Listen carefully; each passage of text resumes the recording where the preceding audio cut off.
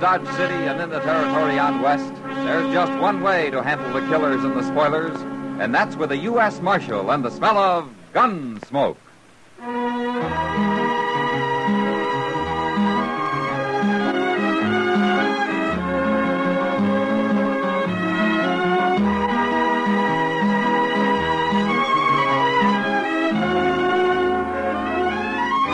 Gunsmoke, starring William Conrad, transcribed story of the violence that moved west with young America. The story of a man who moved with it. Matt Dillon, United States Marshal.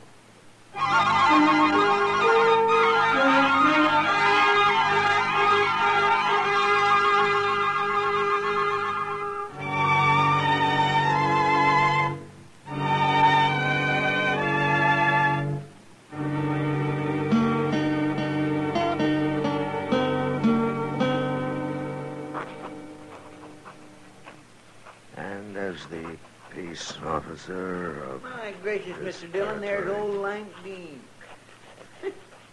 I haven't seen him in town for over a year. you.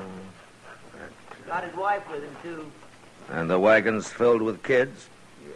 Well, how'd you know Lank had brung the kids along? Well, he always does. Oh. But, uh, John. Hey, look, there's the Pilcher boys. Hardin And way down there is Emma Gold.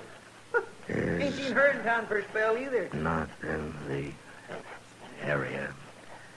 Respectfully, Matt Dillon. U.S. Marshal. There. That does it. Uh, Chester, Yes, sir? will you shut the door? You're letting in all the flies in Kansas. But, Mr. Dillon, I can't Shut the door, Chester. You can go out or stay in, but shut the door. Yes, sir.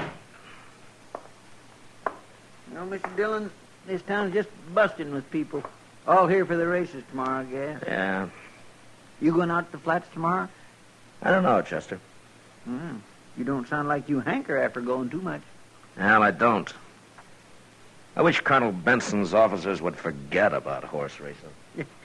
Well, I guess they figure their army grays are about the best horses in the country. Well, everybody knows the cavalry has good horses. They don't have to prove it every four or five months. Mr. Dillon, I just plain don't understand. Ain't nobody likes a horse race better than you. I know, Chester. I like 'em fine, but that's not. Marshal Dillon? Yeah, that's right. Lieutenant Flagg, sir, Fort Dodge. Oh, sit down, Lieutenant. Colonel Benson's compliments, sir.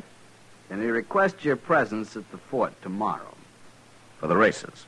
That's right, sir. The colonel feels that a peace officer out there would be, um, well, a steadying influence. I see. And, uh, I take it you don't. No, Marshal, I don't. We can police our own activities. I see. After all, we're certainly competent to handle a bunch of sodbusters. Well, the last time there were races out at the fort, three men were shot. Is that how you would handle things, Lieutenant? I wasn't stationed at Fort Dodge then, Marshal. But I know this. If people around here want to bet their stock against Army Mouse, they shouldn't complain if they lose. Mm-hmm. Uh, how long have you been out here, Lieutenant? I was stationed in Virginia until two months ago. Yeah, I thought so. What do you mean? Look, Lieutenant, out here, when men have something to complain about, they sometimes do it with a six gun. They don't all have the respect for the Army that you have. They would if I had the say of it. Well, maybe, but uh, you don't. It's like with the Indians.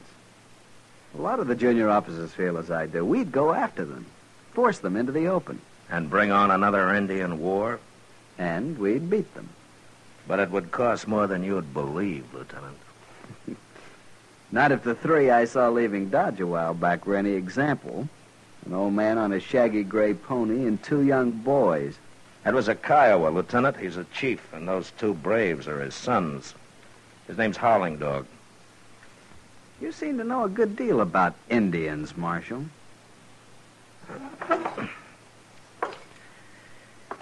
Lieutenant Flagg, you're a young officer. You're ambitious and you're eager, but uh, you talk too much. And you don't even know part of what you're talking about. Now, look here. Tell Colonel Benson I'll be out there tomorrow.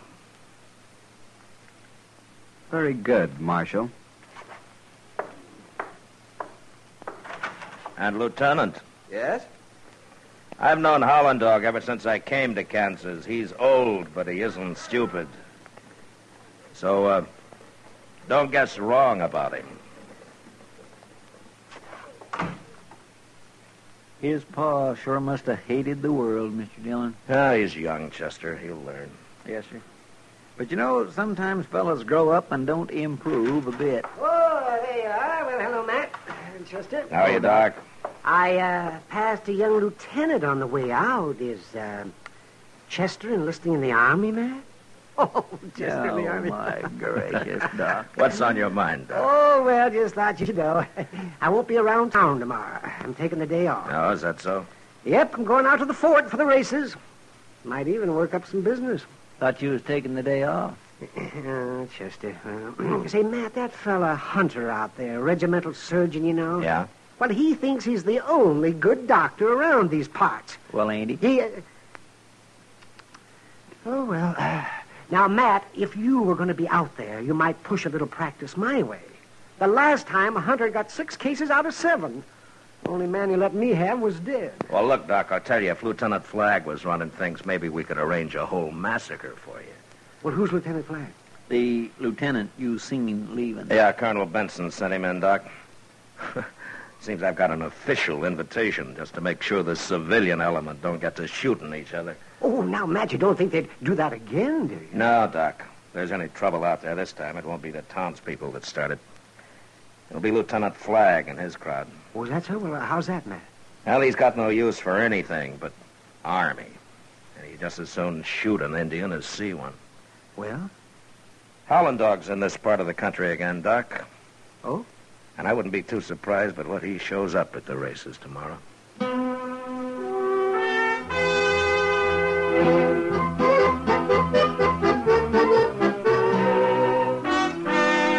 You'd think this was the first horse race ever run, Matt. Yeah. Seems like the betting's running high.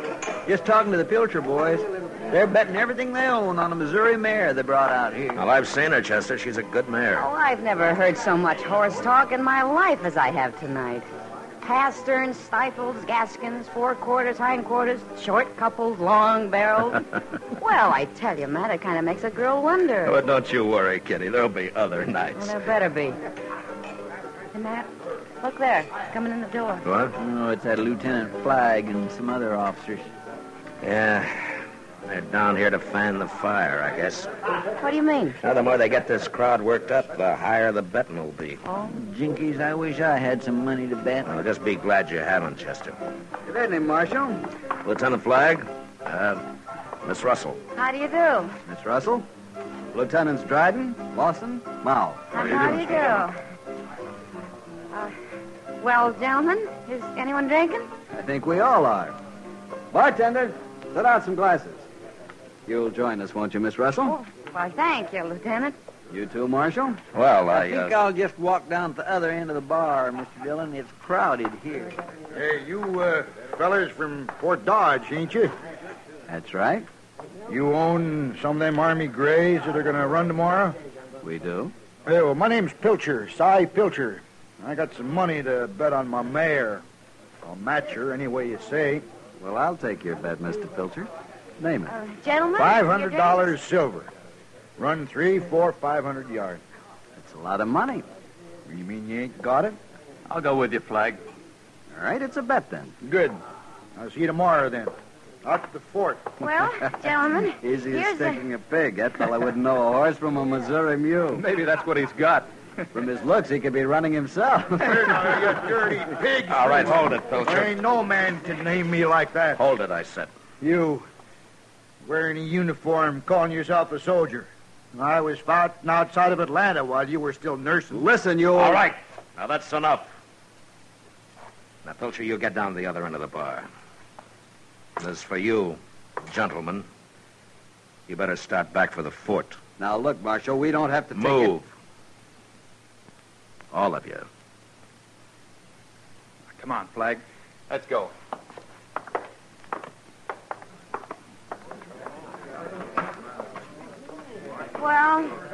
Guess they paid for the bottle before you ran them off. You want a drink?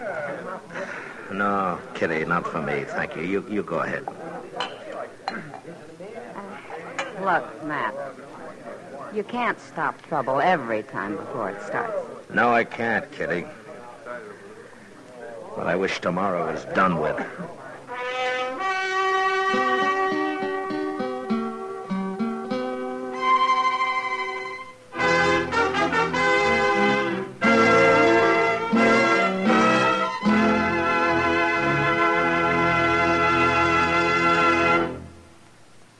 Return for the second act of Gunsmoke in just a moment. But first, three burglars lucky at theft prove unlucky at gambling. To make matters worse, authorities catch up with them on their theft rap as well in the case of the cold dice on Gangbusters later tonight. Hear how Lady Luck refused to smile at a gang of free and easy crooks and how justice and the cops closed in on their escapades. Hear Gangbusters presented by CBS Radio later tonight on most of these stations. Now the second act of Gunsmoke.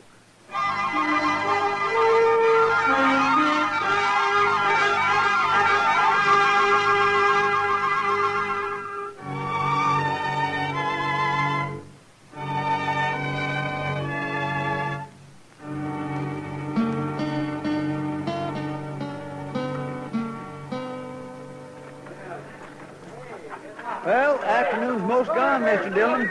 There hasn't been any trouble yet. The whiskey isn't gone, though, and there's still a race to come. Flagg's been holding it off. Yes, sir. Well, at least here on the finish line, we can see which way the money's going. Matt! Oh, Matt! Oh, hello, Doc. Well, we haven't seen you all afternoon, Doctor. Where you been? Oh, well, just playing pinochle with some of the boys. Things have been dull, but they won't be in a minute. No, why? Flagg and Pilcher are down there at the start now. You see 'em? The big race is due any minute. Yeah. Uh, Chester, Yes, sir. you keep your eyes open. And as soon as they cross the finish line, you get to Pilcher, and I'll pick up Flagg. All right, sir. Yeah, let's see. Any minute now. Any minute they'll be a... Here they come! All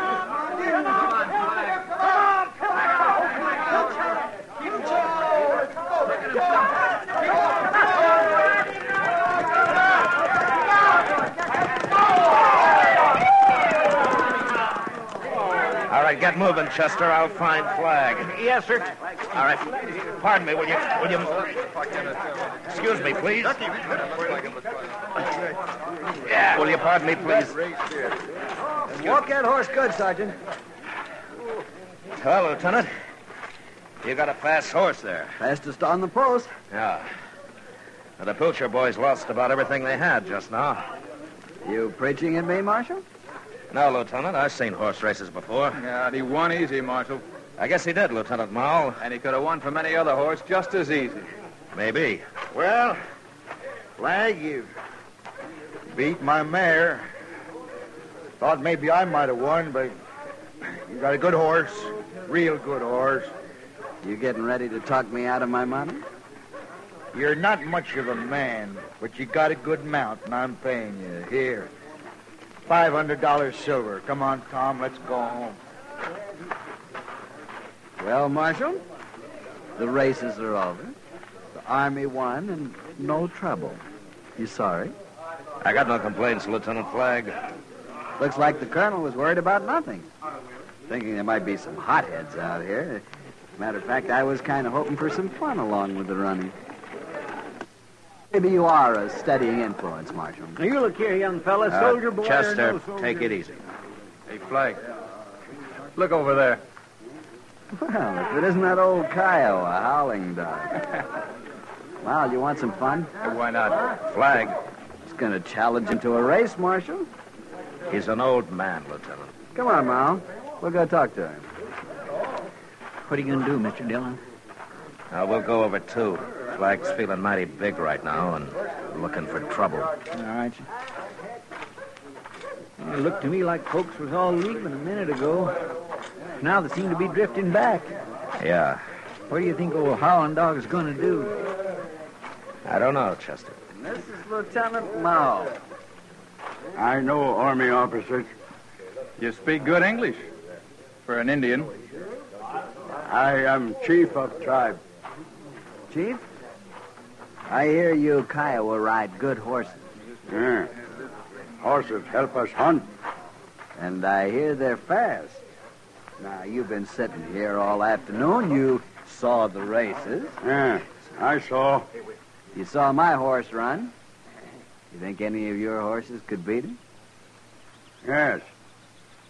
Which one, Howling Dog? Your son's horses or the one you're riding? Anyone. Any one of these three? There's one of them could run 400 yards and live. All right. All right, now stop deviling him, Flagg. I'm not doing anything, Marshal. He tells me his horses can beat mine. I don't think they can. If you want a race, set one up, but don't fun him. Will you race my horse, Howling Dog? I will race Which horse?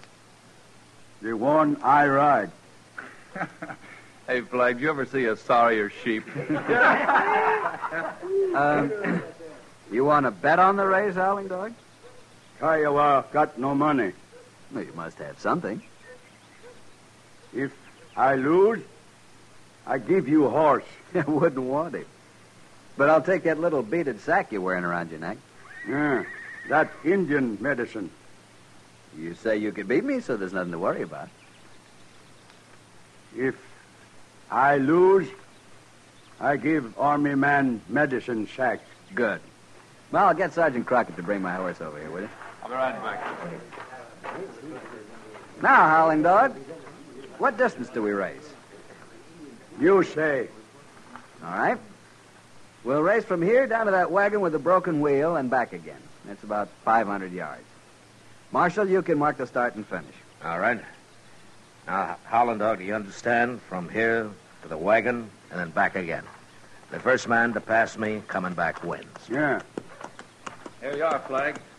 Had a chance to blow. Good shape. Good. Uh, Lieutenant Mao, would you step over here a minute? I'd like to talk to you. Sure, Marshal. You ready, Chief? I am ready. You can ride dressed like that? Yes. Okay, Marshal. Fine with me. hey, Flagg. That Indian gonna ride in his blanket? He can ride in a tent for all I care. Uh, army man, Yes? what you give me when I win? When you. what do you want? Money? No, What then? uniform. Yeah. You mean what I'm wearing? Yes. Well, Why not, Flagg? What difference does it make? He won't win anyway. all right. It's a bet, Chief. Uh, just a minute, Lieutenant. What is it, Pilcher? Well, my horse couldn't do it. Maybe the Chiefs can. I ain't got any money left, but I'll bet my saddles and wagon and four mules against 500. It's a bet. All right, Chester, Yes, sir. you hold the money, huh? Yes, sir. And I might just take about five dollars on the Indian too, Lieutenant. It's a bet. Anybody else? I've done all right today. I'll take a hundred. Well, you're a fool, but now that's a bet. As soon as I'm mounted, I'll be ready, Marshal. All right. You ready, Howling Dog? Ready. All right, now to that wagon and back across this line, then. Uh, you there, would you ride down and clear those people out of the way, please? All right, move up on the line. Now I'll fire one shot. All right, steady now.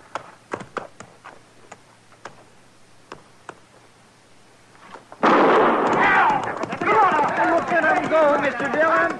Come on, Howling Dog. Can he do it? I don't know, Chester. Looks like Flagg's ahead. Now he's swinging wide for the wagon. Looky there, that ugly little pony can sure run. Yeah. Well, they're into the turn, Chester. Hey, Mr. Dillon, what happened?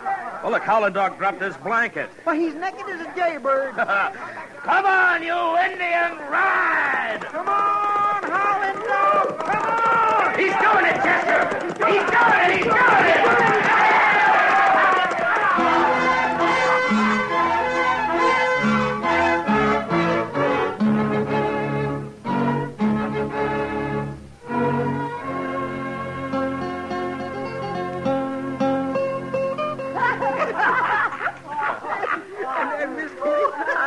to so hard I got the hiccups. oh, my, my, my, my. Oh, it was a sight, a sight. I tell you, oh, there's nothing quite as ineffectual as a man in long johns. You know, I imagine Lieutenant Flagg will have some explaining to do when Colonel Benson sees Oh, him. I wish I'd been there. oh, my, oh, my. Oh, no place for a lady, Kitty. You know, Howling Dog just sat there while Flagg cursed and begged, but then when the lieutenant paid off, he just turned and rode away. With most of the lieutenant's uniform draped around his shoulders. you know, Mr. Dillon, he sure seemed pretty calm about it all. Well, he was sure enough of his horse, just. Uh, sure he'd win, you mean? Well, sure, that's right. Well, why, Matt? Army horses are pretty good stock. Well, sure they are, Kitty, but there's always one around somewhere that's better, and Howling Dog has it. Well, if that horse is so good, Matt, why doesn't Howling Dog uh, clip him up some so he, he don't look like a goat? Doc, let me tell you something. Howling Dog's been winning races with that horse for a long time now. He's been to half the army posts on the frontier. What? He has? Well, That's right. well, why don't people learn not to bet against him then? Well, Chester, because lots of them are like Lieutenant Flagg. They gotta make fun of somebody that looks weaker or different than they do. Yeah. Well, now, Matt, you said you knew about this before. Yeah. Did you know old Howling Dog was going to win today out there? Well, Doc, I was just sure enough to win a $50 bet from Lieutenant Mull. Sam, see what the gentleman will have.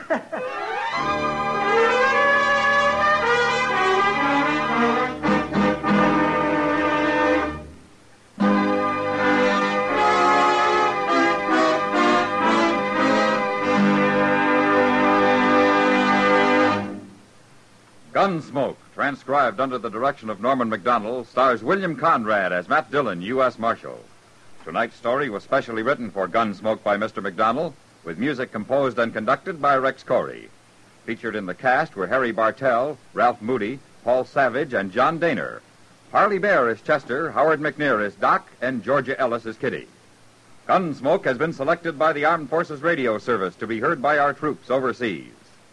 Join us again next week as Matt Dillon, U.S. Marshal, fights to bring law and order out of the wild violence of the West in Gunsmoke.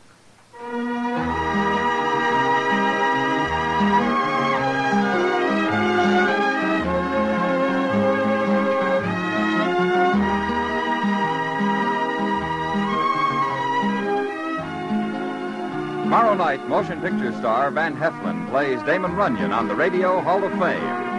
Novelist Gene Fowler and Lionel Barrymore, both friends of the late Damon Runyon, take part in the dramatized tribute. Remember, over CBS Radio tomorrow night, listen to a tribute to the beloved writer of short stories. It's on the Radio Hall of Fame on most of these stations of the Star's Address. George Walsh speaking. Coming, going, staying at home. Enjoy music and song on a Sunday afternoon on the CBS Radio Network.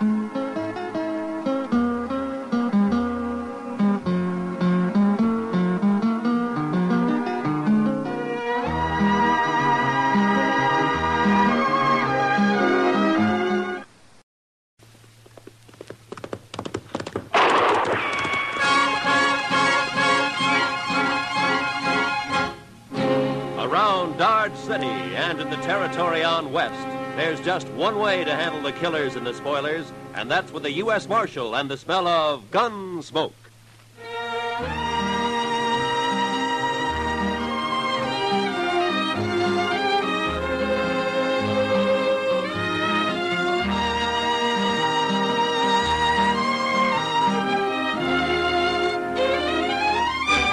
Gunsmoke, starring William Conrad. The transcribed story of the violence that moved west with young America. The story of a man who moved with it. Matt Dillon, United States Marshal.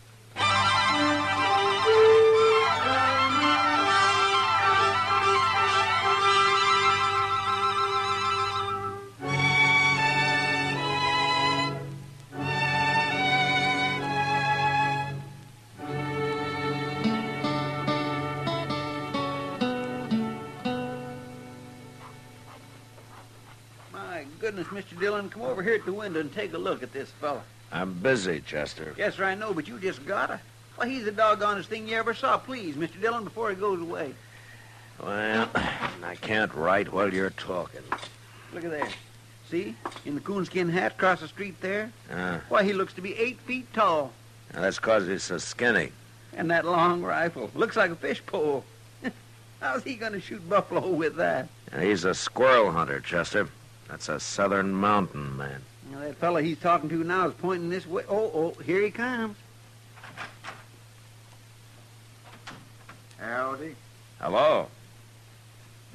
Well, come on in. Be you the. Uh, what you call 'em? Oh, the marshal? I'm again schools and education. Never heard nothing called a marshal. I- I'm a peace officer. I'm a country man. I'm again towns, too, and jailhouses. Well, so am I, but sometimes they're necessary. No, they ain't. No more'n the law is. It ain't fitting for some folks to be meddling in other folks' business. Uh-huh. Oh, where do they figure it like that, stranger? The uh, Ozark Mountains? Better country than this. My name's Luke Humbird. Mine's Dillon. Uh, this is Chester Proudfoot. How do you do? I knowed a fella called Proudfoot once. That so? Yeah. Well, there ain't too many of us. It might be a relation of some kind. All I remember is how he crimped up every time I kicked him in the belly. He did? Marshal, man outside said you'd help me find where Hank Witherspoon's living. Witherspoon? Yeah. Oh, the one who came out here about a year ago? He's got old mountain gal with him. They're married. Sure, I know them. They got a place up near Rock Springs, about ten miles north of here. What kind of place? Oh, just a shack and a patch of corn, as I remember. I'll find it. Well, you come a long way to see your friends, Humbird. The Witherspoon ain't exactly a friend, Marshal. I gotta get going. It being Saturday and all. Uh, wait a minute. Huh? What are you talking about? Nothing.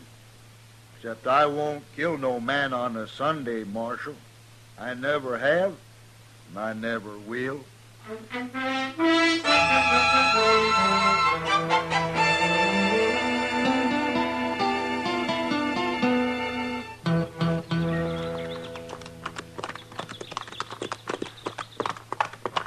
You think Humbird meant what he said, Mr. Dillon? Uh, he's too mountain simple to lie, Chester. Yes.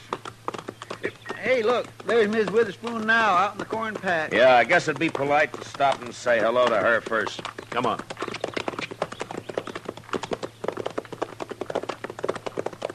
Hello.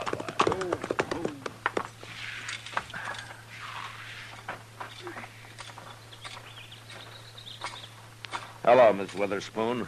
Howdy, Marshal. You too, Chester. Sorry, ma'am. Poorly. Hank's done healed it into Dodge, Marshal. Don't you know today's Saturday? Oh, what's Saturday got to do with it? Every Saturday Hank's in Dodge. He don't come back till Sunday night. Well, that's funny. I don't recall seeing him in town much. He's got his ways, Hank has. He goes to town, but he ain't too sociable. I see. Uh, Miss Witherspoon, do you and Hank know a man called Luke Humbird? Humbird. Don't say his name round us, Marshal. Oh, there's trouble between you? Trouble. Marshal, Hank's the only Witherspoon left, and Luke's the only Humbird. Both families been whittled down to just them two. Oh, a feud, huh? Their grandpa started it. Now there's only one man left on each side. Well, don't you think it's gone far enough? Hank or Humbird. Either one of 'em could call it off, only they're both too muley for that. Well, didn't Hank come out here to, uh, well, get away from it? Course not. He's always talking about going back long enough to kill Luke Humbird. Uh, h- how'd this feud start, ma'am? Well, they say Hank's grandpa stopped by the Humbirds one day and they asked him to sit and eat. He did. Dinner was slow cooking and he got to hollering about it. Sat there pounding on the table with his knife just a faunching and a slavering for his victuals until Luke Humbird's grandpa, he took offense and told women not to feed him at all. He went off mad. They've been feuding ever since. Well, forever. You mean they're still fighting over that? Of course they are. Where'd you see Luke Humbird? Oh, he was in Dodge asking about Hank. That's bad, Marshal. Hank don't even know he's around. Well, that's why I came out here. Hank ought to be told. He's better shot than Humbird any day. Look, Miss Witherspoon, the law doesn't recognize a feud as justification for murder. If one of them kills the other, he's going to hang for it. I never heard tell of no such law, Marshal. You're making that up. No, it's it's true, Miss Witherspoon. I've warned Humbird, and I'm going to warn Hank. They'll shoot you. You start meddling. These people just don't understand nothing, Mr. Dillon. I'm worried about Hank. He'll be drunk soon as it's dark. Oh, well, I'll I'll find him. Goodbye, ma'am. You better find him, Marshal. He'll get killed, sure, if you don't. Yeah. Come on, Chester.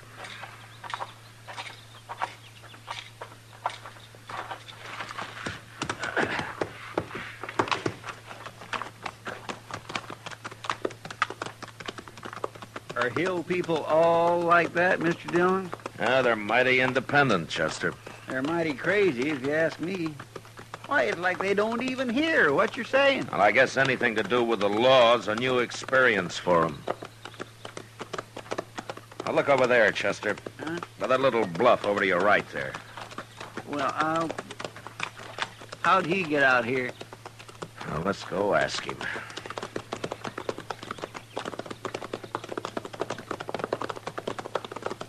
Hello. Hello, Humbird. That Witherspoon's place, Marshal. You don't care whether you hang or not, do you? For shooting the Witherspoon? For shooting anybody. Marshal, you're getting downright contrary. Humbird, why don't you take that squirrel rifle and go on back home? 'Cause it ain't no squirrel rifle, that's why. This here is a human rifle, Marshal. Oh, there's no use even talking to him, Mr. Dillon. Where's your horse, Humbird? Uh, how did you get out here, anyway? I come afoot. I don't need no horse to travel by. You mean you walked all the way from the Ozarks? Tain't far. When they's Witherspoon a waiting at the end of it, Yeah, maybe I ought to just throw you in jail for a while. well, then nobody get killed, Marshal. At least not till I got out again. But you're being awful meddlesome. I gotta get closer to that house. So long. Now don't worry. I don't aim to shoot his old lady. Mr. Dillon, Yeah. maybe it'd be better if you just let them shoot each other and have done with it. Don't tempt me, Chester. Well, let's go find Witherspoon.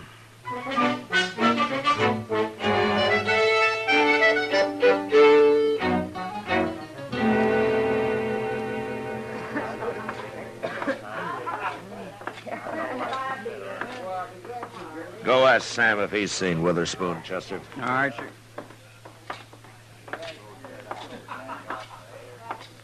Hello, oh, Matt. How are you, Kitty? Well, things have been pretty quiet around here for a Saturday night. Well, I'm not complaining about it. The Santa Fe agent told me there's a big Texas herd due to be shipped out of here in a couple of days. Well, those boys will liven things up for you. For you, too, I expect. Where you been, Matt? It's pretty near midnight. Kitty, I've been trying to stop a feud. A feud? Yeah. What kind of feud? An old one. There's only one man left on each side. Been a long time since I've heard of a feud around Dodge. Well, this one kind of got transplanted from the Ozarks. Oh. Say, don't tell me that crazy Hank Witherspoon's mixed up in it. I've been trying to find him all evening. You know where he hides out? I bet you a dollar he's right out back, Matt. What? Regular as clockwork. Every Saturday night he comes in carrying a long rifle and buys a bottle of corn from Sam and takes it out back and drinks it. All alone, as far as I know. He just sits there, looking at the moon and drinking his whiskey. Never causes any trouble. Eh? Oh, no wonder I never see him around. Uh, Mr. Dillon? yeah, I know, Chester. Kitty just told me. Go see if he's there. Bring him in, will you? Yes, sir. Uh, who's he feuding with, Matt? Fellow by the name of Luke Humbird. I never heard of him. He just arrived today on foot. On foot? Yeah, he's all legs, Kitty. A real traveling man. Well, if he's anything like as weird as Hank Witherspoon, you've got a problem on your hands. Yeah, I know.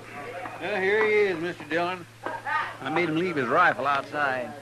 Hello, Hank. Now, what do you want with me, Marshal? I don't like it all cooped up in here.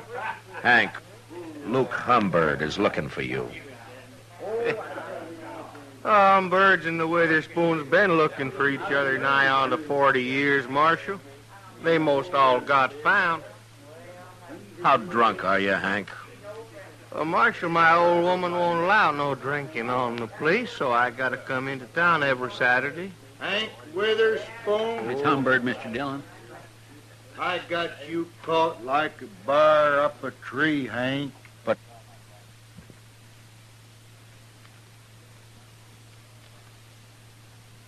But down that rifle, Humbird. If you're gonna kill me, I ain't even got my gun. Put it down, I said. Get out of the way, Marshal. I'll shoot you too if you don't. Now you listen to me. Hey, w- wait, wait a minute, everybody. I just thought of something. Why don't all you folks stop meddling in this? It's after midnight, Humbird. What? It's Sunday. Sunday? Oh, no. Yeah, he's right, Humbird. Well, of all the gall blame luck. Now I'll have to put off killing you, Hank. I won't shoot a man on Sunday. Even a Witherspoon. Well, of course you won't. Hey, Luke, you sure travel a long ways. Well, I got tired waiting for you to come back home. I was figuring coming back this summer for a spell. Alone. I know. I seen your old lady scratching around in that corn patch. She said she ain't never going back hard as it is here. Oh, well, fellers can make a crop here sometimes, Luke. Yeah. But it's a hard fight with a short stick. You got no hogs out there. Where are your hogs, Hank? I'll be getting some. Oh. Hey, Luke, I'll tell you something. What? I got me a little jug out back. It's most empty now, but we could maybe buy us another one and set out there for a spell and kind of, kind of get soured on the cob.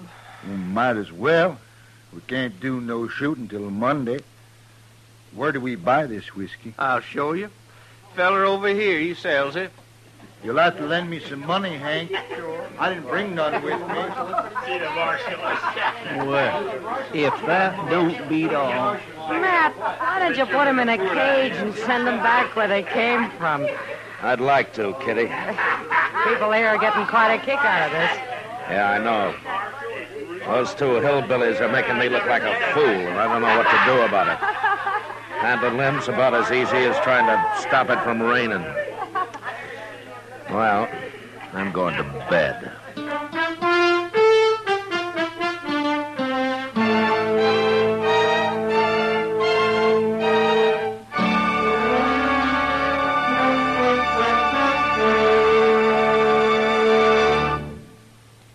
Return for the second act of Gunsmoke in just a moment. But first, Listen Young Lovers is the title of Monday night's drama on Suspense on CBS Radio, starring Robert Wagner and Mona Freeman. Don't miss Suspense and one of its greatest productions, Listen Young Lovers, on most of the Stars Address stations Monday night. Now, the second act of Gunsmoke.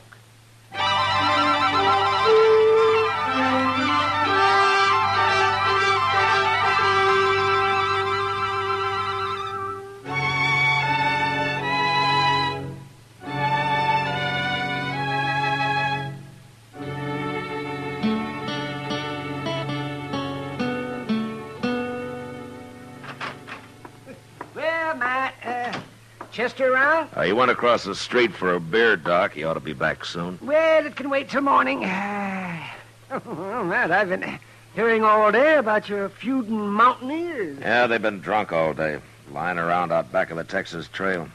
The shooting won't start till midnight, Oh, you're going to let them uh, go ahead with it? and I've about decided to throw them in jail. Give me time to think of some way to get rid of him. Well, that's a good idea, Matt. uh, people are saying that this is the first time you've run into something that you can't handle. yeah, they're, they're kind of enjoying it, too. I'll bet they are. yeah, and all over a couple of crazy. What's that? That was a rifle shot, Doc, a long-barreled human rifle. Now, you might as well come along. I thought they were against shooting each other on Sunday, Matt. I thought they were, too, Doc. Maybe they got so drunk they forgot. Yeah, but sure, sure looks that way. Now, watch your step, Doc. It's pretty dark back here. Over here, Mr. Dillon.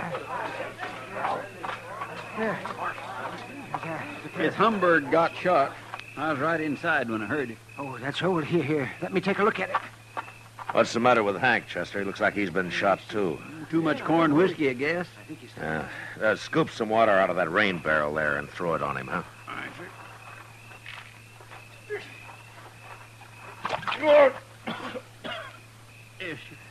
What? What's that you're doing now, Luke? Give him Huh? some more, Chester. Okay. Oh! Hey, now stop that. I tell you. You're making me all wet. Say, say, Matt, this man over here is still alive. Uh, let's get him over to my office. Uh, give Doc a hand there, a couple of you men, huh? right, here, uh, take hold of that. Say, Luke, huh? Where at's my rifle? I got your rifle right here, Hank. Did you shoot him, Hank? Well, sure. I was aiming to, I guess. How could you shoot him if you were passed out? Well, I don't know, Marshal. We got pretty drunk. I thought neither of you'd shoot a man on Sunday. Well, no, of course not. Why did you then? You mean it's still Sunday? Hank, I don't believe you did this. Marshal, you quit messing around. I'll shoot you next. Chester, Yes, sir. throw him in jail. I'm going to take a look around. Jail? I ain't going to jail. Come on, get moving, Hank. No. Come on, I'll poke this rifle right through Hey, you. quit that. Well, then start walking. you put me in jail, I'll just bust right out again. Oh, no, you won't. Not if I have to break your leg to keep you.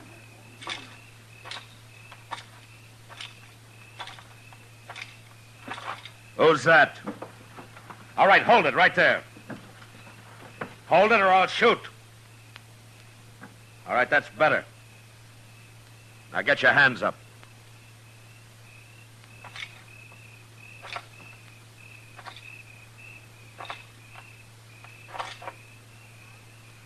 Well, I'll be. I ain't armed, Marshal. Put your hands down, Miss Witherspoon. What are you chasing me for? I'm a woman, Marshal. Come along, ma'am. I'll put you in the same cell with your husband.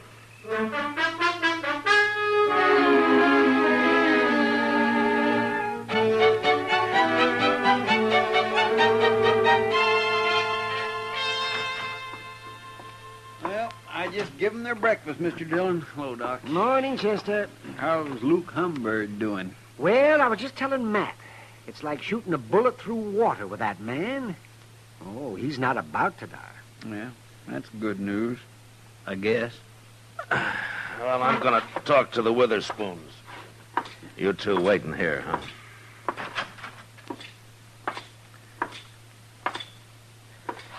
Morning, Hank. Ma'am. Morning, Marshal. You come on out to our place someday, Marshal. I'll cook you a better breakfast than you give us here. Uh, thanks, ma'am. But it might be a long time before you go home.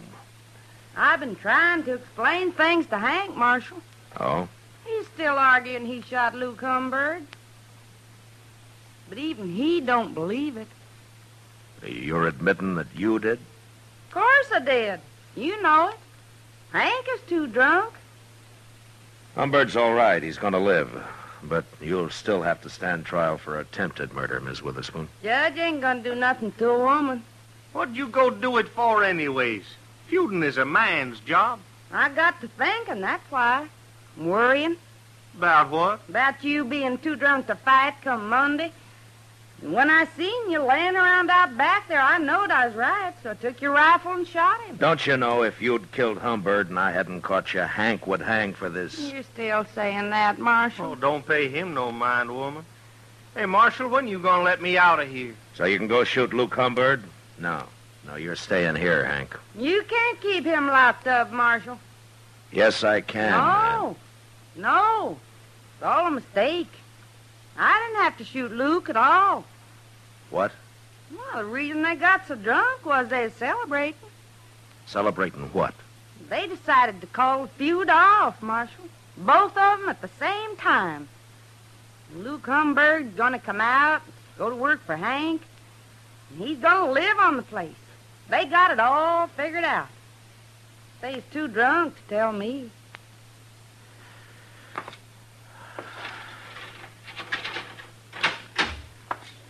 Uh, Ms. Witherspoon, Huh?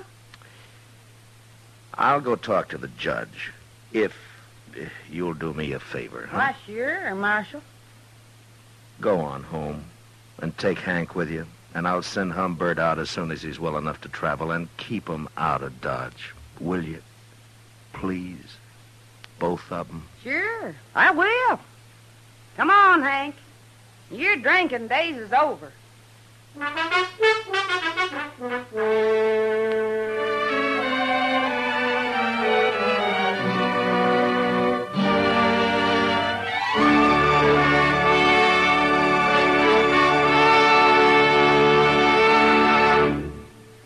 Gunsmoke, transcribed under the direction of Norman Macdonnell, stars William Conrad as Matt Dillon, U.S. Marshal. Tonight's story was specially written for Gunsmoke by John Meston, with music composed and conducted by Rex Koury. Featured in the cast were Virginia Gregg, John Dehner, and Lawrence Dobkin. Parley Baer Chester, Howard McNear as Doc, and Georgia Ellis as Kitty. Join us again next week as Matt Dillon, U.S. Marshal, fights to bring law and order out of the wild violence of the West in Gunsmoke.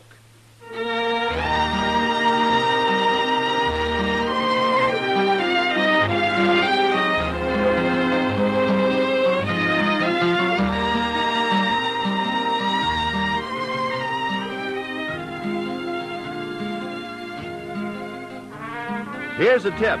Make it a safe, sane holiday weekend all the way. Let the drivers in Indianapolis take the only chances anyone takes this entire holiday weekend. And say, don't forget CBS Radio will bring you Memorial Day night an exclusive program of Indianapolis thrills. That's Monday night on most of these same stations.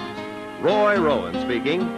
Lionel Barrymore's Radio Hall of Fame is great Sunday night drama on the CBS Radio Network.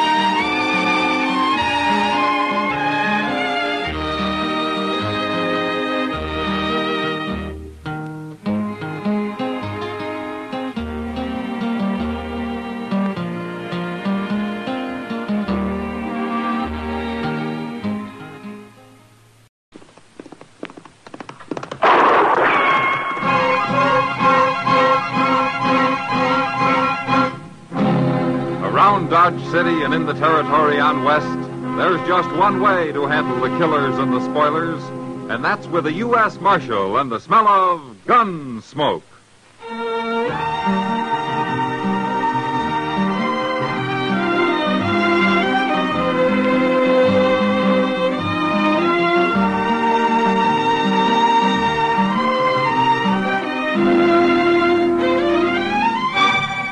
Gunsmoke, starring William Conrad.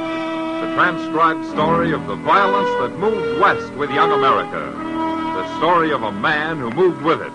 Matt Dillon, United States Marshal.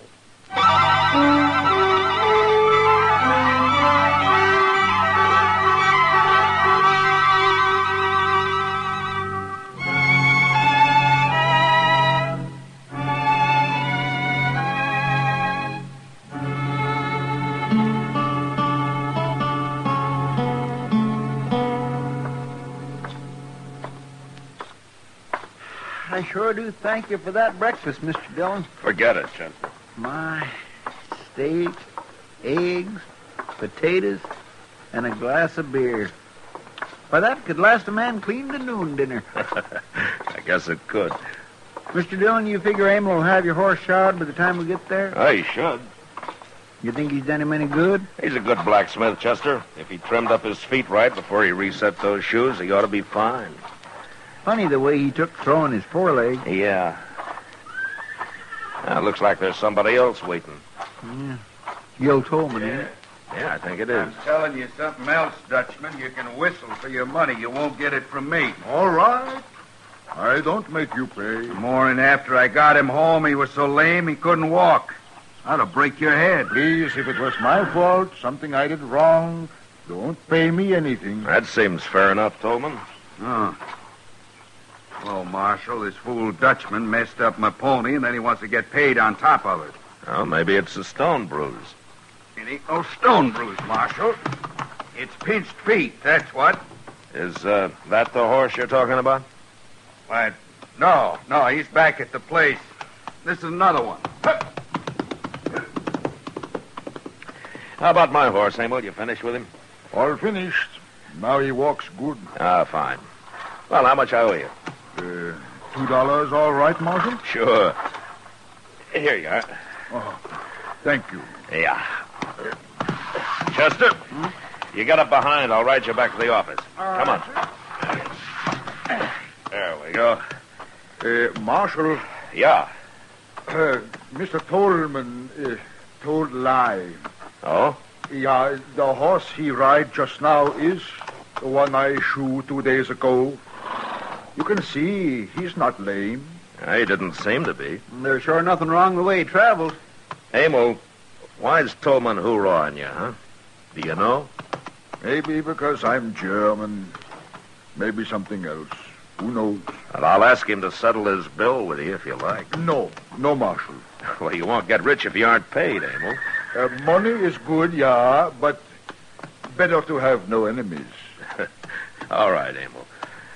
Well, Chester, hang on. get Mercy on us!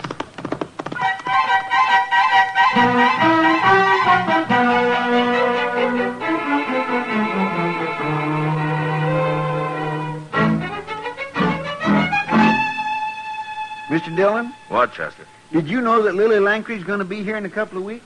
Oh, how did you know? Mr. Hipple over at the Opera House told me. Oh. And in case I don't get to see her, he's going to let me have one of them big picture posters. He is? Yes, sir. The Jersey Lily. My. I sure would like to be tall hog at that trough. Oh, hello, Martin Chester. Hello, Doc. Hello, Doc. Hey, did you know Lily Langtry's going to be here, Doc? Oh, of course, Chester. I already paid Hipple for a chair. Oh. oh, is this all you two got to do? Just sit around and talk? Well, things are quiet, Doc. We can't always have a few shot-up cowboys just to keep you busy. Besides, we're waiting for the evening stage. Wish I had the loan of a dollar. Maybe I'd get to see the Lily, too. Uh, Chester, here. Oh, no, sir. Here's the dollar. Now, will you be quiet? Well, sir, I sure do thank you, Mr. Dillon. Marshal Dillon? Oh, Emil, come in, come in. I just come by to see how your horse is. Oh, fine, Emil, fine. I think that shoeing fixed him up. Good. hey, you're all dressed up, Emil. You got your Sunday clothes on. Yeah. I'm meeting stage five o'clock. Oh, is that so? Yeah. Got uh, new wife coming. Oh. Uh, you got one? It's right. Well, I didn't know you were married, Emil. Oh, not yet married. I will get married after she arrives. Well, forevermore. Who is it, Emil? Well, uh, I am doing good now and want to have wife and children. But girls here in Dodge don't want husband. They like better the Texas Trail and Longhorn. Well, there's a lot of excitement and money to be had working around a saloon. Eh? That's true. So I answer advertisement in St. Louis paper. You did what? Advertisement says the young German woman wants husband. So I write to the paper and say, come to Dodge City, be wife of Emil Wolhaupter. And she's coming in on this evening stage. Yeah, that's right. Oh, well, oh, it's, oh, that's just fine, Emil. You got a place for her to stay? Yeah, I talked to Mr. Green at the Dodge House. Ah. She'll stay there until I get a place ready behind my smithy. It's here. The stage just pulled up the other side of the plaza. Oh, oh. Well, good luck, Emil. Oh. Oh, Marshal, Marshal, you and Doc and Chester come too. I want you to meet Gretchen. We'll be proud, eh? Abel. Yeah. No. Funny thing, I, I'm not afraid of anything. But now, my, my stomach is sick. Yeah, there's only one woman getting off the stage. That must be her. Yeah? Ooh, she's a pretty little thing, ain't she? Well, go on, Emil. She's standing there waiting. Oh, we'll stay here. Go on. Well, uh, uh, Well, go on, man. Go on, go on. There's Ooh. plenty of time to be nervous later. oh, well, well. Grüß Gott. Guten Abend. Ich bin Emil Wolhaupter. Ich bin fröhlich und äh, glücklich, dass Sie gekommen sind. Herr Wolhaupter? Ich, ich ähm, hoffe, die Reise war nicht My, zu listen to that. Nein, ganz gar nicht. Ich bin erfreut. Herzlich Makes you wonder how they can understand each other, don't it? Talking that way. Oh, Chester, for äh, heaven's sake. Liebe Leute, ich werde Sie Ihnen Oh, look, he's bringing her over here. sprechen Sie Englisch, Fräulein Gretchen? Ja, natürlich. Ach, gut, gut. Äh, Marshall Dillon, Gentlemen, Miss Gretchen Schiller. How do you do, gentlemen? How do? How do you do, ma'am? Welcome to Dodge, Miss Schiller. Thank you, Marshal. I hope you'll be happy here. Uh, you certainly got a fine man. I know much about him already. We have written. Now, Marshall, I will take Gretchen to the hotel. Äh, kommen Sie. Wir gehen jetzt. Gretchen, mal her. Oh, yeah. she seems a little scared, doesn't she, Matt? Now, Doc, she took a chance on coming out here. Yeah, well, so did Emil. Getting married to a mail order bride like buying a pig in a poke. You can't be sure till it's too late. Oh, for the... Oh, come on, Matt. This is an excuse for some sort of a celebration. I'll buy you a glass of rye. hey, you too, Chester. All right, Doc, since you're buying. You know, I was just thinking. She's so little and Emil's so big, I hope he don't take it into his mind to beat her none. Now, Emil's about the gentlest man I've ever known, Chester. And besides, Chester, men don't always beat their wives. My pa did. well, well, well. Sam, set out some glasses and a bottle of rye whiskey. And then when the stage comes in a few minutes ago, I see where he gets himself a gal bought out of a newspaper. And mm, Gil Tolman One again, of them Mr. Dillon. foreigners is Yeah. all we need around here. Now there's two. We ought to tar and feather the both of them and send them on their way. Doc, you and Chester wait here. Tar and feathers is too good for foreigners that are trying to take over the town. Yes, sir. You're right. Tolman, how drunk are you? I ain't at all. Uh, you talk like a man that's been drinking. Ain't a man allowed to say what he thinks around Dodge no more, Marshal? Not when he's thinking that way, Tolman. This is between Wolhaupter and me. Has nothing to do with the law. It's got a lot to do with me, Tolman. Now you drink up and get out. And you take Spooner and Willie here with you. Uh, just a minute. Now you listen to me. All of you. Wolhaupter's trying to mind his own business. And if there's any trouble, I'll know who started it. And he'll go to jail. You saying you're going to lock me up? Tolman, if Emil Wolhaupter ever gets mad enough, he'll kill you with his bare hands. Now leave him and his girl alone. Girl. Why, she's probably nothing but a little... All right, Tolman. You and Spooner carry Willie out of here. Okay, Marshal. We'll go. Just remember, I got a score to settle with that blacksmith.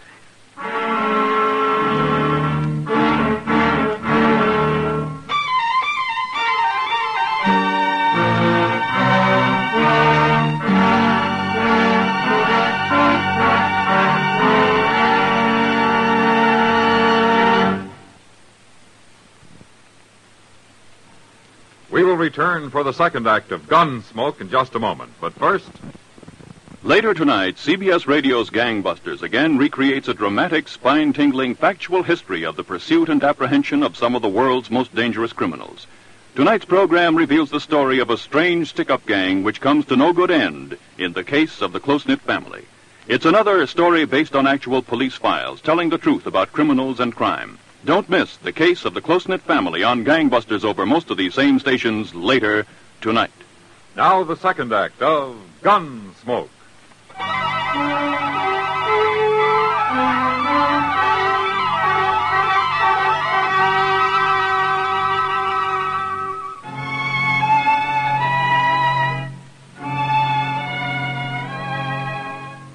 By the end of the next week, Emil Wolhaupter had finished fixing up the little room out behind his smithy. And the week after that, he married Gretchen Schiller. On their wedding night, they made quite a picture, standing there by the fire out behind the smithy. The great giant of a man and his tiny little bride, smiling and happy. Doc had come along, too, and he was busy with his fiddle. People were laughing and eating and drinking. Somebody had brought along a barrel of beer, and there were hard-boiled eggs and pickled pig's feet, roast chicken, and smoked beef. Some of the women had brought sugar cakes and dried apple pie, and some of the men whiskey. It was good fun until Tolman and his sidekicks arrived. Well, I didn't think he'd show up here, Mr. Dillon. No, neither did I. Where's the dancing? Hmm, he's kind of drunk. Yeah, so are Willie and Spooner. Willie, go find yourself a gal. You too, Spooner. Me, I got one waiting. I'm gonna dance with this little old gal. How about it, Mrs. Wolhaupter? Emil? Come on, gal, dance. He don't care. Emil? We are all friends here. But I... Nobody's dancing right now, Tolman. Why don't you forget it, huh? Well, if it ain't the marshal. You are welcome here, Mr. Tolman. There's food on the table and drink. I don't want nothing to drink. I want to dance. Doc, start that fiddle playing. Come on, you. We're gonna dance. Maybe you drink too much to dance. Don't you lay a hand on me. Why don't you just go home, Tolman, and sleep it off? Me and Gretchen's gonna dance. That's why. Come on. I'm sorry to do this, Mr. Tolman. Put me down, but now we put you in the water trough. Put me down. Cool you off. You stupid ox. Put me down. All right. There you go.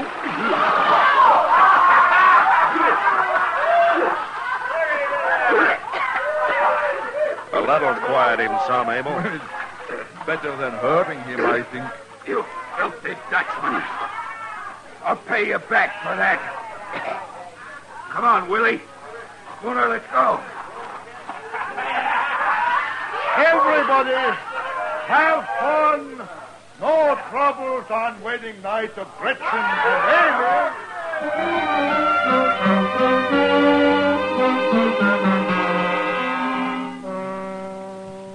And there wasn't any more trouble that night, or in the week that followed. I kept my eyes open, but there was no sign of Tolman or his two wranglers, and Dodge was pretty peaceful. Then late one night, trouble did come, but not the way I'd expected it. I'd fallen asleep on a cot in the office. Mr. Dillon. Uh, Mr. Dillon. what? What? Wake up, Mr. What? Dillon. What- What's the matter? What's the matter, There's a fire. What? What? It's the blacksmith shop. I, I come as quick as I could. Well, well, is it bad, Yes, Chester? A bunch of the men are out there now. Where's Emil? I don't know. Nobody's seen him. How about Gretchen? Miss Kitty's with her. She's pretty upset. Oh. By the time we got bucket lines going, the place is just about burned to the ground. Uh, well, how did it start? Do you know? No, sir, I don't. But a shack like that flares up pretty quick. They didn't have time to get anything out, beds or tables or the like. Well, there doesn't seem to be much left but a pile of coals. So there ain't. Oh, there's Miss Kitty. Over there. And Gretchen. Yeah. Oh, Matt. Ms. Wolhaupter. Kitty. Oh, Marshall. He's gone, all gone. And Emil works so hard. Now, it's going to be all right, Miss Wolhaupter. Kitty, uh, why don't you take her on over to your place, huh? Oh, that's a good idea. Come on, honey. Oh, no, no, no, I, I can't. Emil will be back. He'll worry. The marshal can tell him where you are. Where is your husband, Gretchen? He was called away Oh? When? a few hours ago. A man came for him, said he was needed. Well, who was it? He was one of the men who came our wedding night. Oh, she means the night of the shivaree, Matt. Yeah. It must have been Willie or Spooner.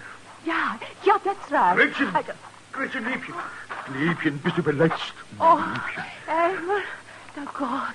Ich war so bang Emil, uh, Gretchen, it, it burned too fast. The men couldn't get water to it. Yeah, I know, Marshal. I've heard, but Gretchen is safe. Yeah. That is important. I'm going to take her with me, Mr. Wolhaupter. You're very kind, Miss Kitty. Right now, she needs a woman. Yeah. Come on, Gretchen. Let's go. Ja, all right. Marshal, I think somebody set that fire. Oh, why do you think so, Emil? Somebody wanted me away from my place. So he told me I was needed down the trail towards Willow Bend. But there was no team of horses with thrown shoes. Well, maybe you just missed him in the dark. Well, didn't the man who came for you wait to lead you back? No, he rode on. By the time I dressed, he was gone. Did you know him, Emil? Oh, yeah. It was the man Spooner. He works with Tolman. No, he works for Tolman. Jan Tolman's just mean enough to do it. He is. Look, Emil, if you'll say that Tolman did it, I'll have him in jail by morning. No, no, Marshal. No, this I settle myself. I won't have any killing, Emil. Ah, No, no, there will be no killing, Marshal, but for the first time, I am getting very angry.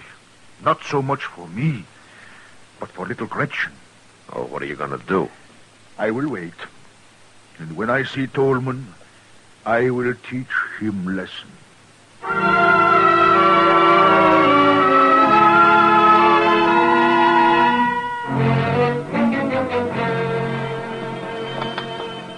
You want more coffee, Mr. Dillon? Uh, no, no, no, thanks, Chester. Did you know Emil Wolhaupter's been just standing across the plaza there all morning? He's waiting, Chester. Waiting? Yeah, it's Saturday, and Tolman always comes to town Saturday for his week's supplies. He probably figures if he didn't come in this morning, people would suspect he was afraid to. Yep. By golly, Emil's still there. Just standing. You think Tolman knows Emil's after him? I don't know, Chester. Mr. Dillon, Yeah? he's coming. Tolman's coming. And he's got Willie Saxon Spooner with him. Come on, Chester. Let's step out onto the porch, huh? I think we need a little air. Yes, sir. Hey, look. Look at the three of them. Walking right down the middle of the plaza. Yeah. Oh, Tolman, come over here a minute, huh? Why, sure, Marshal.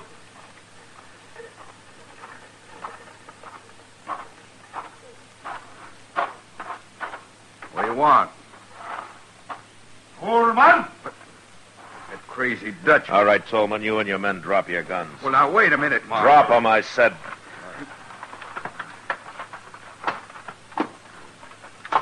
That's better. Now, gentlemen, I think the blacksmith wants to talk with you. What? Mr. Tolman. I don't mind when you don't pay me for work. I don't mind when you are a little drunk. But when you do something to upset my wife, I- mind very much. What are you talking about? I. I'm going to fight you, Tolman, and hurt you. You lay a hand on me, and Spooner and Willie here will tear you to pieces. I don't want to fight other men. But if they try to stop me, it's too bad. You are crazy. No. Just very mad. I'll see that they come at you only one at a time, Emil. Please, Marshal, you stay out of it, out. If they want to come at me at the same time, let them. Boys, get the Dutchman.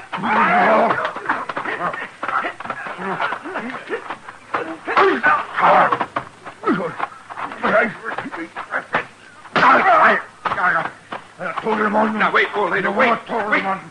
No, Tormund. Tormund. Tormund. All right, Abel, that's enough.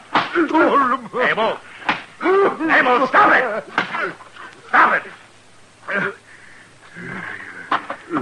Yeah. Yeah. Chester, run up and get the I'm right here, Matt. I Yeah. saw the whole thing. Oh, my, what a beautiful fight. What a beautiful thing. All right, some of you men there, will you help Doc carry these three men up to his That's place? right, young fella. Get the feet there. Get, get, get, get, careful now, careful. Watch their heads against the stairs. Get that man's face out of the dust. My gracious alive, I never seen nothing like it. Yeah. Well, Emil, Yeah. you, uh, you want Doc to have a look at you? No. No, no worse than shoeing Missouri mule.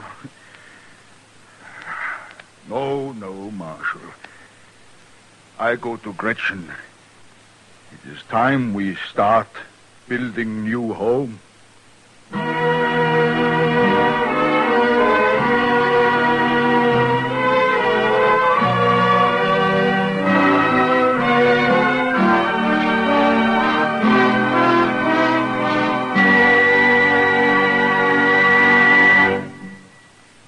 Gunsmoke, transcribed under the direction of Norman Macdonnell, stars William Conrad as Matt Dillon, U.S. Marshal.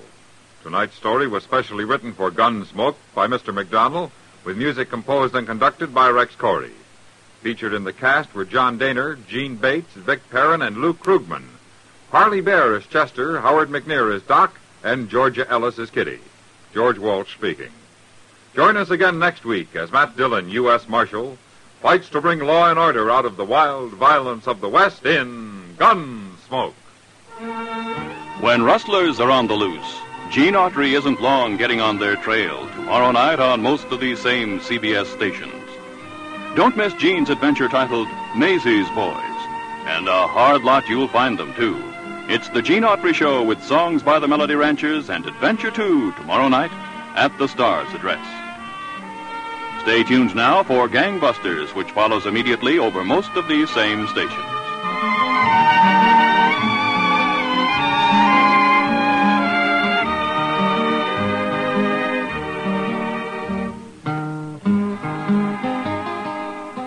This is the CBS Radio Network.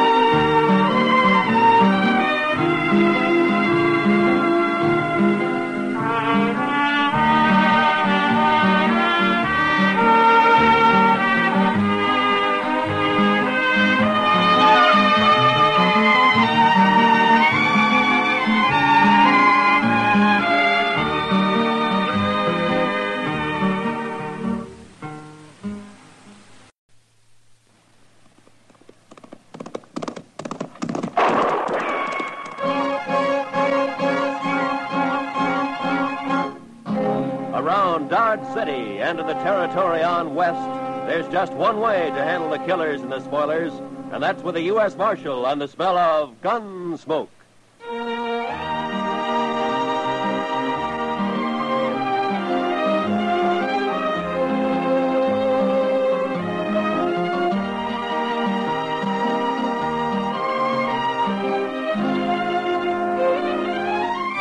Gunsmoke, starring William Conrad. The transcribed story of the violence that moved west with young America. Story of a man who moved with it. Matt Dillon, United States Marshal.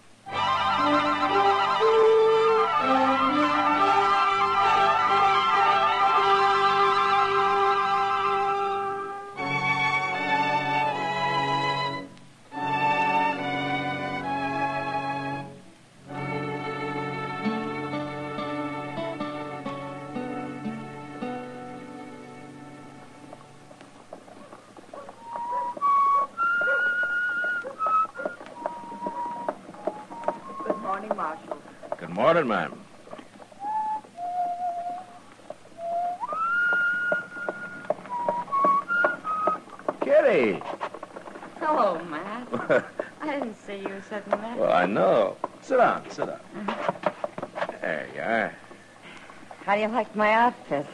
Ah, I never saw you in a riding skirt before, Kitty. You've been riding side saddle? For the first time in my life. At least I know how to do it now, in case I'm ever called on to be a lady. well, I know ladies who don't always ride side saddle. Sure. Like that female wildcat down in the panhandle you told me about. What's her name? Oh, Belle Starr? I bet she never rides side saddle. Oh, Belle Starr's a lady, though. And everybody treats her like one. Even though she has to use a six gun to make 'em do it. Maybe I ought to try that. Yeah, it takes more than a six gun to make a lady, Kitty. That's a funny way of putting it. Well, that isn't what I meant. Dillon? Uh, hello, Miss Kitty. How are you, Chester? Hey, I just come to Longhorn there, Mr. Dillon. What, trouble, Chester? Uh, not yet, but there's going to be as soon as Art Long gets to town. Art Long? Well, he's always been a peaceful man. Isn't he one of those nesters out near Sam Baxton's ranch? That's him. But it's another one of them nesters that's talking up trouble. fellow named Hoffer. He's saying he's going to shoot out Long on sight. Well, is he drunk, Chester? Yes, sir, some. Armed? He's got the biggest old cavalry pistol you ever saw stuck right in his belt. Real farmer style. Well, that may be true, Kitty, but those horse pistols go off sometimes. Well, bye later, Matt. Yeah, I will if I can, Kitty. So long. It sure sounds like he means it, Mr. Dillon. Now, why does he want to kill Long, Chester? Well, sir, he didn't say. Yeah, maybe he's just drunk and wants to shoot somebody. Anybody. No, Anybody. Sir. No, sirree. Hoffer's pretty certain about who it's going to be. All right, Chester. Uh, don't stand too close in case he puts up a fight, huh? No, sir. And all you bully clubs, shut up and listen to me. Gets here, you're going to see his blood all over the floor. Right there. Or maybe right over there. I, I don't know just where yet. Your name, Hoffer? Barnaby Hoffer. What's the trouble between you and Art Long? You friend of his? That doesn't matter. Yes, it does. Because if you're a real good friend, I might take it to mind to shoot you, too. I'm a U.S. Marshal, mister, and you're not going to shoot anybody. Oh, Marshal Dillon, huh? I'll take that pistol, Hoffer. Okay, Marshal. Take it. All right. Now tell me what this is all about. I don't need no pistol. I He's got a knife, Mr. Dillon. Drop it, Hoffer. I said drop it. No! I'm going to cut you again. Give me that knife back. You're kind of hard to convince, Hoffer.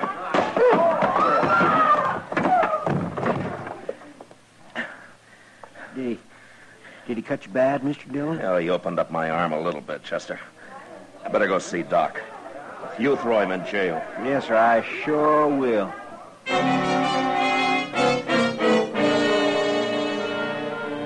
There's a saying that it's the gentle horse that's most dangerous. You don't watch him close enough. And so with Barnaby Hoffer, a farmer who hands you his old horse pistol and then snatches an eight-inch knife from the back of his belt.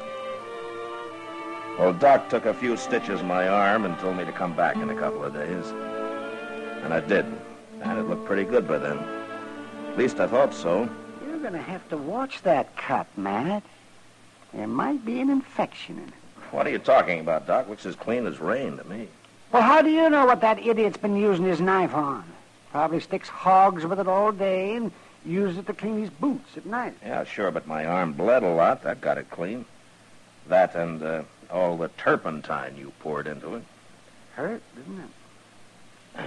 You know, someday, Doc, if my luck holds, I'm going to get a chance to work on you. Oh, no, you know, I'd sooner die. I'd sooner lie in the snow and bleed to death all alone without anybody around even to bury me.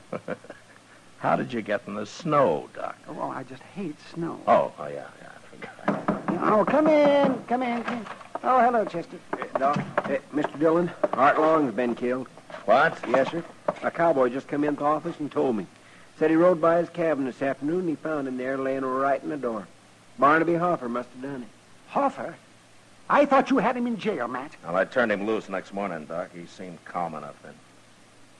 I guess I made a mistake. I guess you did all right.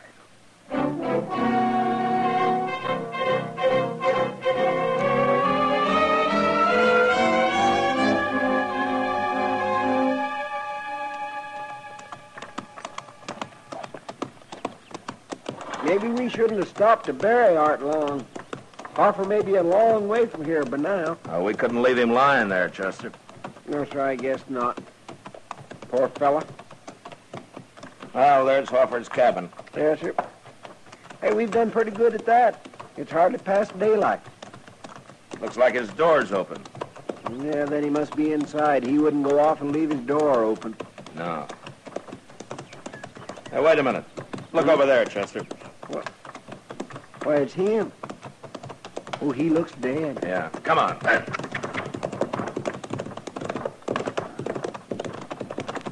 Oh, oh, oh.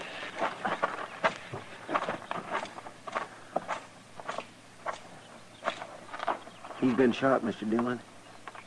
With a shotgun. Just like Art Long. Well, he's still breathing. Hoffer? Hoffer. Uh, it's Marshal Dillon, Hoffer. Uh, hey. Mar- Marshal. Huh? I'm tore all apart. Took a load of buckshot when I opened the door. Who did it, Hoffer? Did you see him? Sam Baxton. He did it. Sam Baxton? Who killed Art Long, Hoffer? Did you? Art Long. Is he dead? Yeah. Bo- both of us. Dead. I don't want to die.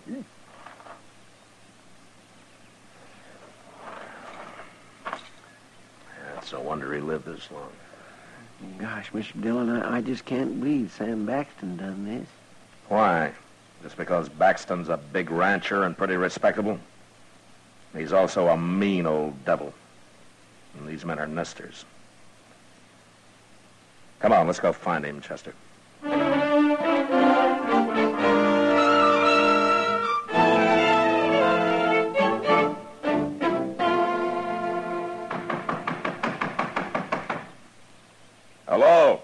Anybody home? Why, it's Marshal Dillon and Chester. Hello, Miss Oh, ma'am. Well, don't stand around out there. Come on in and sit a while. Thank you. I got two pots of coffee on the stove. Well, we don't want to bother you now, Miss Baxton. Bother. Why, I love company. And besides, you don't get out this way very often, Marshal. You're just going to have to stay and eat dinner with us. Sam, Sam, we got company.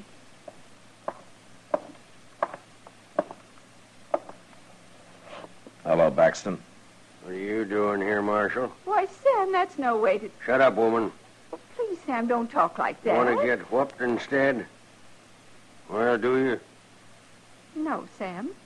I asked what you're doing here, Marshal. Yeah, yeah, I heard you. Well, say it out. We're busy around here. You know Art Long and Barnaby Hoffer? I know 'em. Dirty nesters. Well, they're both dead, Baxton. Good. Oh, no. They both got killed the same way. What do I care how they got killed, as long as they're dead? I'm going to tell you anyway, Baxton. Each of them, when he came out of his cabin first thing in the morning, was killed by a man waiting outside with a shotgun. How do you know all that? You, you weren't there. Barnaby Hoffer was still alive when we got there, Baxton. Still alive? He died pretty quick, but before he did, he told me who shot him. Did he? And who was that, Marshal? You? Oh, no. No, it couldn't be. I'm sorry, ma'am, but that's what he said. I'm going to have to arrest you, Baxton. Arrest me? On the word of a dead sodbuster? Who's going to believe it? The court will decide that, but it's enough evidence to hold you on. What makes you think Hoffer wasn't lying? He knew he was going to die, and it was his last chance to get me in trouble. That's what happened. You'll get a trial, Baxton. You can defend yourself there. Right now, you're going to jail. I'm charging you with two murders. But Art Long was dead. He didn't tell you nothing, Marshal. He and Hoffer were killed exactly the same way, ma'am. Looks like one man killed both of them. Come on, Marshal. If we're going to jail, let's go. And you stay out here, woman. I don't want you running into Dodge all the time I'm there. All right, Sam. And don't go talking your fool head off to everybody about this either. I won't. When we get this business over with, Marshal, I'm going to give you a lot of trouble. You're going to wish you never come near me.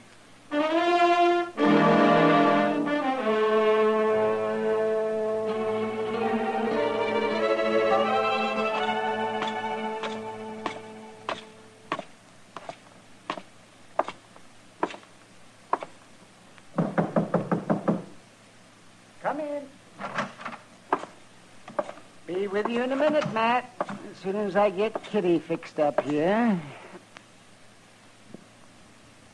Oh, Matt. Kitty. What's that, a black eye? What happened? It's none of your business. How's your arm, Matt? His arm's all right, Kitty. Just comes up here to bother me. Somebody's got to keep you from sleeping all day, Doc. Oh, don't forget I'm making pretty good money off that cut of yours. Yeah. There you are, Kitty. Thanks, Doc. Matt, has Sam Baxton confessed yet? No, I've spent two days trying to get him to, but he won't admit a thing. Well, if he does hang, there won't be many tears shed around here. Yeah, there's Ms. Baxton, Kitty. For some reason, she really loves him. Oh, that poor woman. I've seen how he treats her. Too bad she hasn't got a son to stand up for her. Some kid about eight feet tall. He'd be about eight feet tall if he was Sam Baxton's. Well, that man's tall as a tree. Is he still wearing that white hat of his? Yeah, the only time he takes it off is when he sleeps, Kitty. Then he puts it over his face. Must be like sleeping under a horse blanket. No wonder he's so ornery all the time. Oh, oh, come in. Well, come on in, friend. Fellow downstairs told me I could find the marshal up here. Uh, what can I do for you, mister? Oh, I never been in Dodge City before, Marshal. I ain't even been in Kansas very long. I'm riding south. I got tired of that cold up north. Why, you're welcome here. Uh, I'm going on south. What I come to tell you was there's a little creek runs out of Arkansas about 20 miles from here. Fellow told me it's called Ginger Creek. Yeah, that's up near Sam Baxton's ranch, man. That's on his ranch, according to him. What about Ginger Creek, mister? There's some fellow's got a little cabin there with a corral out in back. I don't know his name. Now, that'd be Jim Fowler. He's been homesteading there for about a year. No, know more he ain't. Now, what do you mean? I buried him myself early this morning. I come by and found him laying in the door of his cabin. He was dead, but still bleeding. Somebody's tore him plumb in two with a shotgun.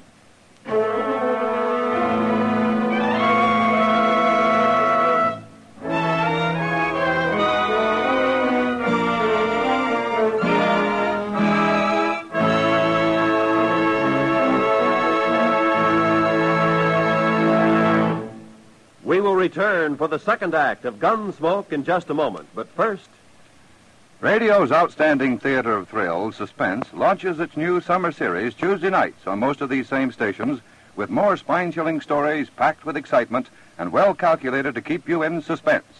This Tuesday, hear the Earth is made of glass, in which a man experiments with crime on a scientific basis. Suspense now Tuesday nights at the Star's address. Don't miss it. Now the second act of Gunsmoke.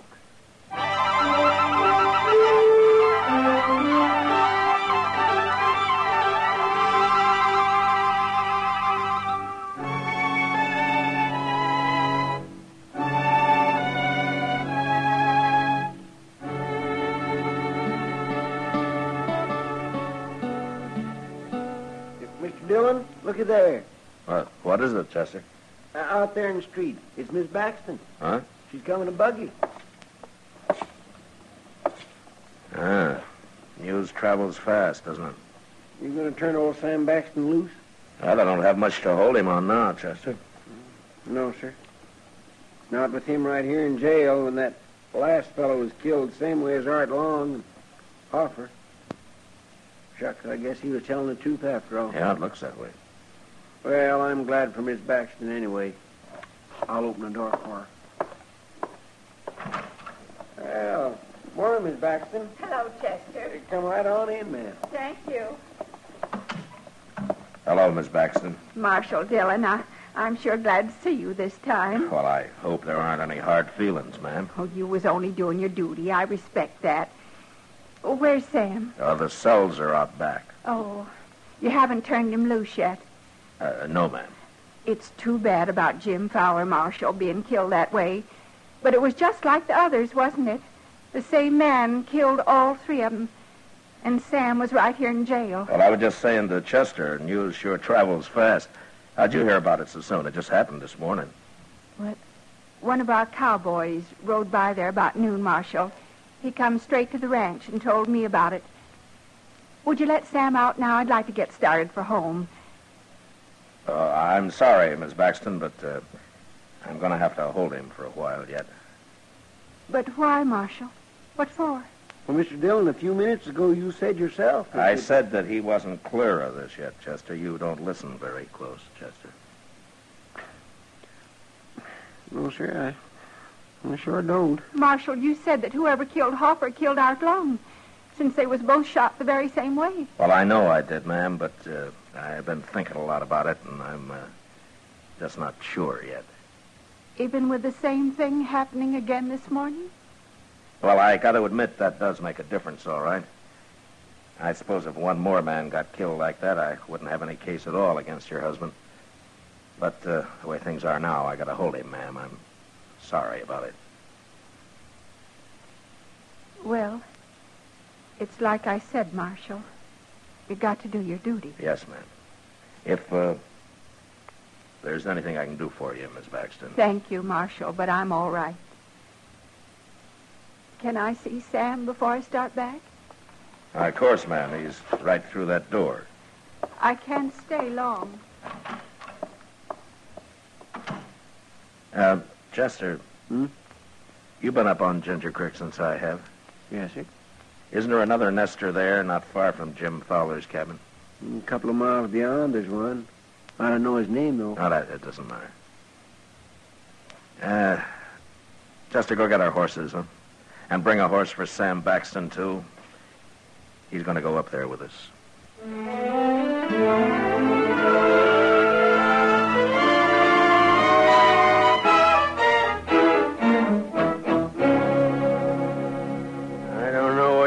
Up to, Marshal, but I'd rather be in jail than spending the night in this place. It's a nice little cabin he's got here, Baxton. Yeah, you improved it some when you sent him into Dodge for the night. It's almost daylight, Mr. Dillon. Okay, Chester. Well, I'm going to build a fire now and let whoever's waiting outside think his victim's just got up.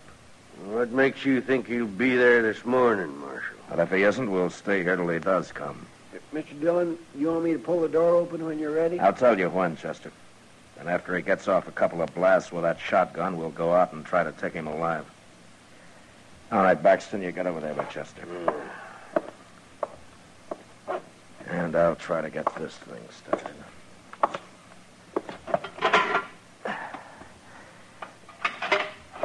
All we're gonna need is a little smoke going up through the chimney. Maybe we can come back when it's all over and cook a little breakfast, Mr. Dillon. Now, we'll worry about breakfast later, Chester. Yes, sir.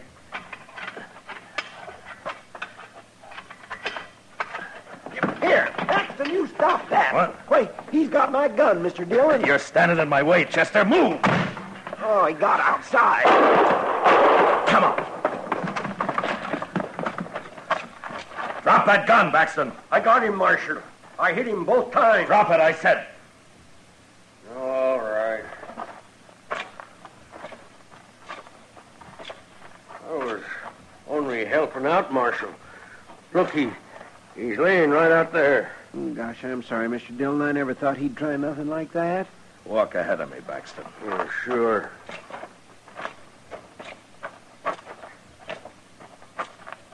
Oh, Marshal, look, it's my wife.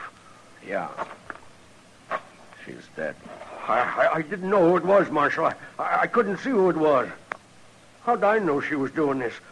Going around killing people. Your wife shot Jim Fowler yesterday morning. I didn't know she hated nesters that much. Well, it's kind of hard to believe, Marshal. Yeah. But I guess you never know about a woman. Well, I can tell you about her, Baxton. Fowler's the only man she killed, and she didn't kill Fowler because she hated him. She did it because she loved you. What are you talking about? She was trying to cover up for you. Oh, wait a minute. She almost did it, too. She almost kept you from hanging. So she claimed one of your cowhands saw Fowler's body when I knew he'd already been buried. I had all the evidence I needed on her right then, Baxton. And the biggest mistake you made was killing her. I didn't know it was her. You knew. But what you forgot was that she'd have confessed to killing Long and Hoffer. Why would she? Because she loved you. Besides, she couldn't have been punished any more for killing three men than for killing one. You got it all figured out, ain't you, Marshal? Yeah, yeah, everything. Everything except how she could love a man like you. But then it's like you say. You never know about a woman.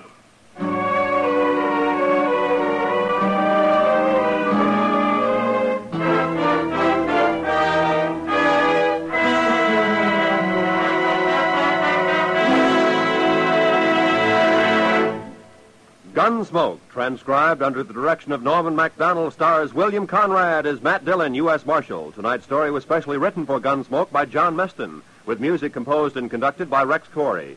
Featured in the cast were Joseph Kearns, Helen Kleeb, Paul Savage, and Clayton Post.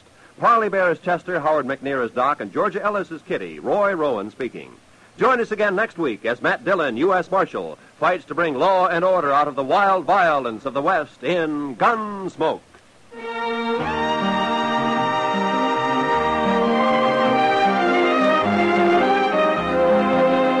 Gene Autry stops a lynching of an innocent man and tracks down the real killer on tomorrow's Gene Autry Show. There's time out for Melody on Melody Ranch, too, as Gene sings Down Yonder, Blue Canadian Rockies, and other Western hits. CBS Radio presents the adventure and melody of the Gene Autry Show every Sunday on most of these same stations. Be listening tomorrow.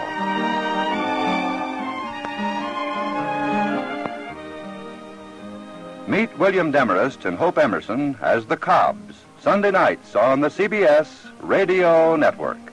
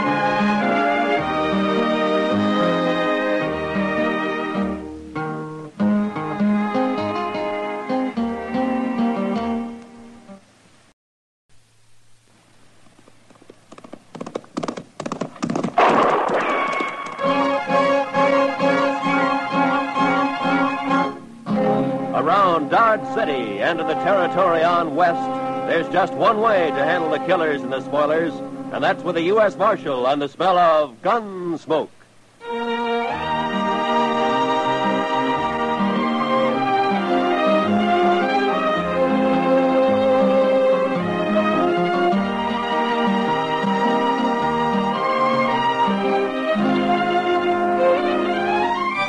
Gunsmoke, starring William Conrad.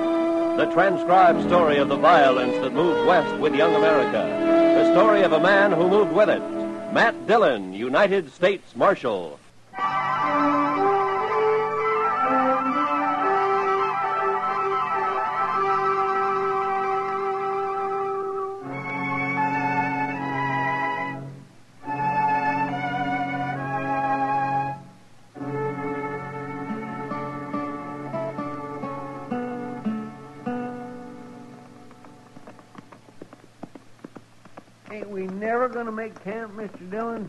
Ask whoever's living in that cabin up ahead if there's any water around here, Chester. Most likely there ain't. These settlers put up a cabin just anywhere and then start praying for rain. Oh, we could have camped back on Smoky Hill River. No, sir. I'd rather go dry. Just as long as we make Dodge by tomorrow night. we'll make it. I never seen such a place as that Fort Wallace, Mr. Dillon. Man could go plumb out of his mind living there. Well, they don't build army posts for pleasure-loving people like you, Chester. I've been in the army. No? Uh, like it? Well, sir, we didn't always see eye to eye, me and the army, but at least I didn't get killed. well, that helps. I'll bet you look pretty bold in a uniform, Chester. Oh, my, yes. I surely did. I wonder if there's anybody home here. Hello? Place looks deserted, Mr. Dillon. Yeah. Uh, here, hold my horse, Chester. I'll take a look. Yes.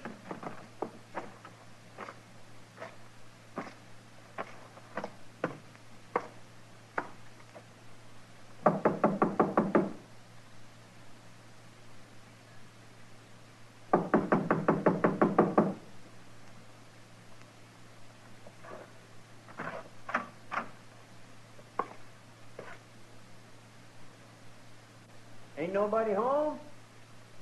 There's a man in here, Chester, lying on the floor. What? He's dead. Somebody killed him.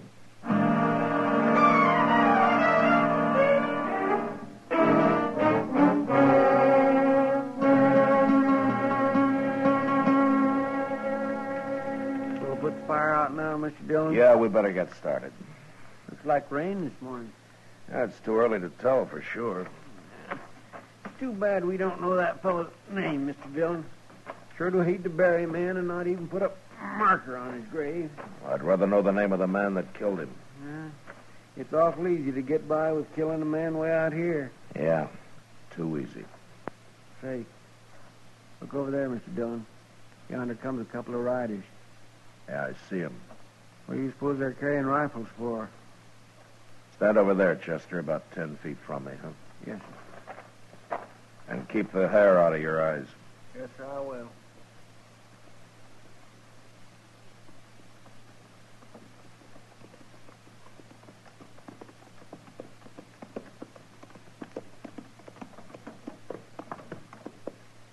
What are you men doing here?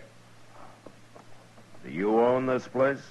I wouldn't live in a shack like that. We got a real house over on Turkey Bend. But that don't answer my question, mister. What are you doing here? We found a dead man in the cabin there last night, so we stopped to bury him. The dead man, that must have been Riley. What happened to him? He got shot. Who'd have shot a nice fellow like Bob Riley? Maybe they done it, Deaver. They probably did. You think we ought to hang him? It'd be easier to shoot him and leave him here as a kind of a warning. Yeah. Good idea, Giles. You move that rifle one inch, mister, and you'll die for it. Now go ahead, mister. You're calling it.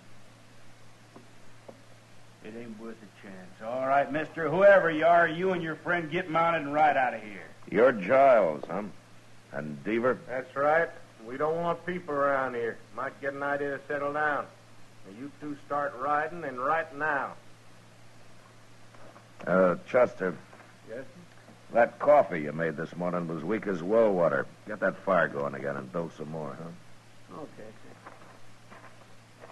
Sure got a lot of nerve, mister. He don't even blink, Deaver. Look at him. We'll be by here later, mister. We won't ride up so close next time. You better be nowheres around. Come on, Giles.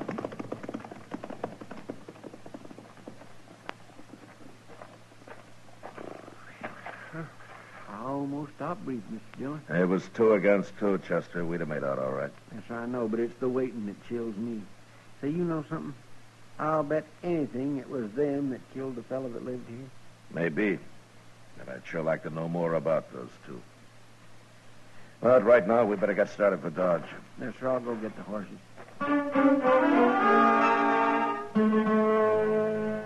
Chester and I got mounted and rode maybe a mile and a half we came across a sort of a camp. There was a man there, a tall man with long yellow hair and bright blue eyes that seemed always to be looking into the distance.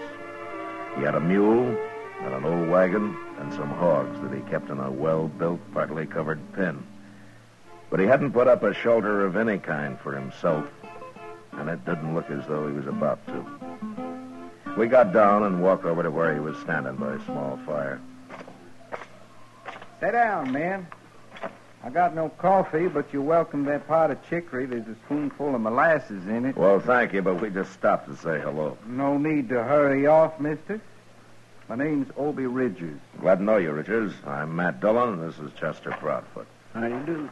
I don't meet many people out here. Are you raising hogs? All my life. Not here, though. Where do you live, Ridgers? You, you, you got a house somewhere? Ain't lived in a house since I was nine years old. I like it outside. I need to breathe. Well, you're outside here, all right. And I ain't going to move no matter what they say. Uh, no matter what who says. Them two fellas up on Turkey Bend. Giles and Deaver? Them's the ones. Uh, tell me, Ridgers, there's a cabin about a mile and a half north of here. You know the man that lives there, Riley? He comes by here now and then. Well, we buried him last night. Somebody shot him. Hmm. That's bad. That's real bad. You better tell the law about it if you're going anywhere, mister. I don't hold with murdering a man. Well, I'm a U.S. Marshal, Ridgers. That a fact. Well, now. Don't you ever get into Dodge? Well, never have, but I'm going today. What, in that wagon? It'll take you a week. No, sir. I'm going horseback. Well, I swear I don't see no horse. Well, right out there, fella. Here he comes now. That there's Jim Branch leading him. Jim talked me into going to Dodge with him, but I know I won't like it. I'm just doing it for Jim's sake, kind of coddling him along, making him feel good. Where does this Jim Branch live? He's got a little place over west of here somewhere. Jim's nothing but a cowboy, Marshal. He'll be drifting on one of these days, kind of like me that way. Hello. Got company, Jim. You ready to go, Obie? I'm all dressed up like a sore thumb, can't you see? What'd you do? Change your socks? uh, this here's a U.S. Marshal, Jim. I forget his name. Uh, my name's Matt Dillon. I'm glad to know you. I'm Chester Proudfoot. well, how you do? You heading for Dodge, Marshal? Yeah, we'll ride in with you if you like. Good. This is a big day. I've been talking Obie into going to town for three months. He claims he don't like towns. Wait till he sees Dodge. I'm happy right here with my hogs. I don't need no town. Your hogs won't miss you. Well, let's get started. I gotta be back in three days, Jim, like you promised. Them hogs will starve if I ain't. You'll be back. Oh, say. What? The marshal here tells me Riley got shot. No. Says Giles and Deaver done it. Now, wait a minute, Ridgers. It looks like they did it, but if I could prove it, I'd be taking them in for trial right now. Well, it's too bad you can't, Marshal. They're no good, them fellows. Well, I can wait. They'll make a mistake sooner or later. But we better get going. It's 60 miles to Dodge.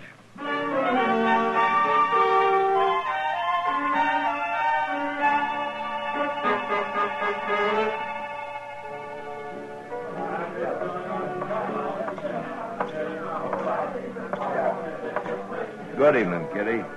Sit down, Matt. You want a drink? Uh, no, thanks. I, I just had dinner. That reminds me. Fella brought me a dozen quail today. Oh? I can cook 'em for dinner tomorrow if you're going to be around. Yeah, that sounds great. I'll be here. They ought to be ripe enough by then. You know, I never saw as many quail as there are this year. Riding in yesterday, we put up clouds of them. Huh. That Jim Branch seems like a nice fellow, Matt. Obie Ridgers, too. Yeah, they are, Kitty. they sure make a funny pair. Maybe. But still, they're kind of like brothers. Look at 'em over there at the bar. Obie's getting spookier every minute he's here. Obie likes it outdoors, right out on the ground. I doubt he'll ever come into town again. Jim told me he still hasn't been able to get him to take a meal in a restaurant. He has to bring it outside for him. Says he can drink inside, but that's all. well, maybe we'd all be better off if we lived that way, Kitty. Not me. I don't want to live like an animal. Uh, don't you? hello, Miss Kitty. Hello, Jim. Marshal, something bad's happened. Uh, what, Jim? Well, this fella here just rode into town from up north. Well, he come by Obie's camp. Marshal, somebody shot Obie's mule and burned up his wagon and killed all his hogs. That's right, Marshal. Oh, no. Giles and Deaver again, huh? Well, it's Obie I'm worried about. I never should have made him come down, town, Marshal. He'll, he'll, he'll kill them fellas now. I know he will. I'll ride out with you, Jim. Right now.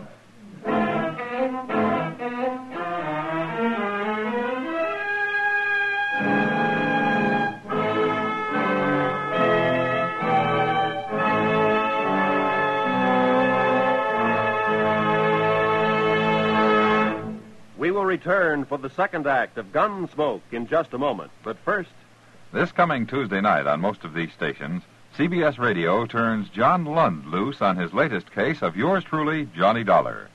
In the Woodward Manila matter, Dollar launches a search for a missing man and a missing fortune. And when the chips are all totaled up, the missing man and the missing money, each somewhat depleted, are accounted for. Don't forget, this Tuesday night at the Star's address, yours truly, Johnny Dollar. Now the second act of Gunsmoke.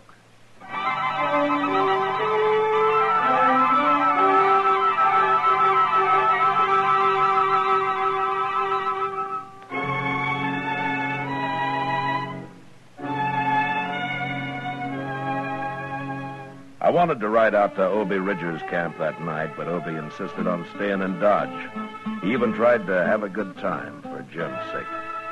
Next day, however, on the ride up, why, he just sat his horse and stared straight ahead and never said a word. We reached his camp after dark, and we could see his mule and his hogs lying there in the moonlight, and the remains of his wagon, charred and ghost-like.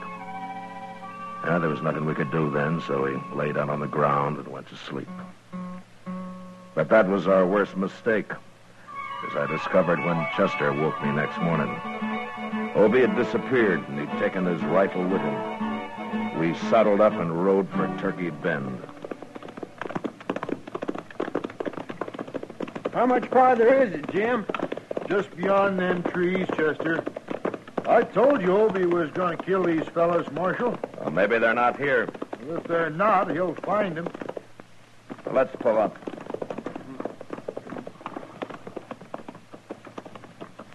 I don't see no cabin. It's right in there. There, there it is. See? See it? Oh. Sure. Wait a minute. Look over there, behind that log. It's Obie. Hey, Obie! We better walk over. Okay. Hey, what are you doing, Obie? Down, you'll get shot. Come on, Rutt, let's run for it.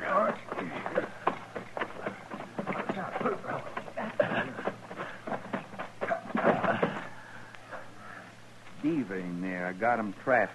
Look, Obie, I'll handle this. You can't kill these men. I done killed Giles already. That's him laying right by the door over there. Oh, Obie, you Blew the top of his head off. Obie, I gotta put you under arrest. Now, give me your rifle. Wait till I kill Deaver. I can't hang twice. Give me that rifle, Obie. Now. You mean it, don't you? I do. All right, I won't fight you. Here. But I'd sure like to kill Deaver. Chester, hmm? take this rifle and keep an eye on him. I'm going after Deaver. Yes, sir. He'll kill you, Marshal. No, he'll be too curious at first. I'll walk over there with my hands up. But you wait here till I yell.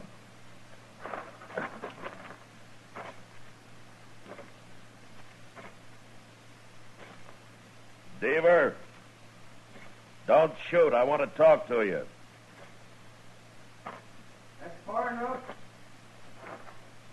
Come outside. Obie's under guard. He won't shoot.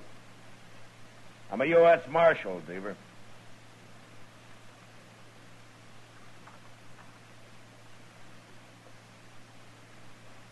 You're the feller we run into the other day up by Riley's cabin? I am. Now come on out. Thought there was something about you. I got Obie under arrest, Deaver. He admits killing Giles here. You killed him.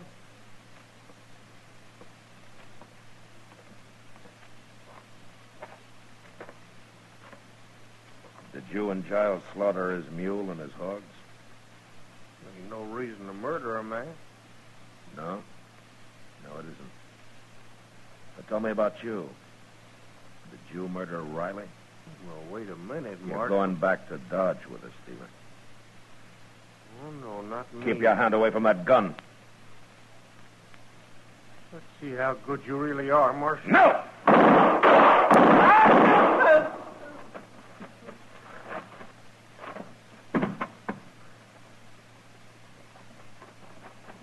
Dillon, uh, good for you, Marshal. Good. You killed him. Now they're both dead. Yeah, they're both dead. But you murdered one of them, Moby. Jail. I can't go to jail, Marshal.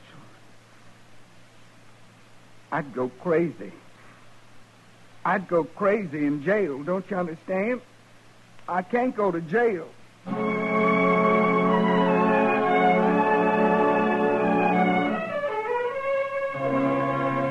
was a hard thing to do, but I had no choice. And I took Obie back to Dodge and locked him up. A few weeks later, he went on trial. And after long deliberation, the judge sentenced him to life imprisonment. Obie stood up and said he'd rather be hung. Then I took him back to jail. And I sat there with him for a while. I, I thank you for everything you said, Marshal. You didn't have to do that. Well, I just tried to get the judge to believe you went crazy and you didn't know what you were doing, Obie. I knew what I was doing. I told him I did. Yeah, I know. Why wouldn't he let him hang me, Marshal? And he did what he thought was just, Obie. He didn't think you deserved hanging. I don't know how I stood it this long in jail. I, I'm sorry, Obie. I, wish I could help you. They got windows in the penitentiary, Marshal? Sure. Sure, sure they have. Well, I, I, I'll be around later, Obie.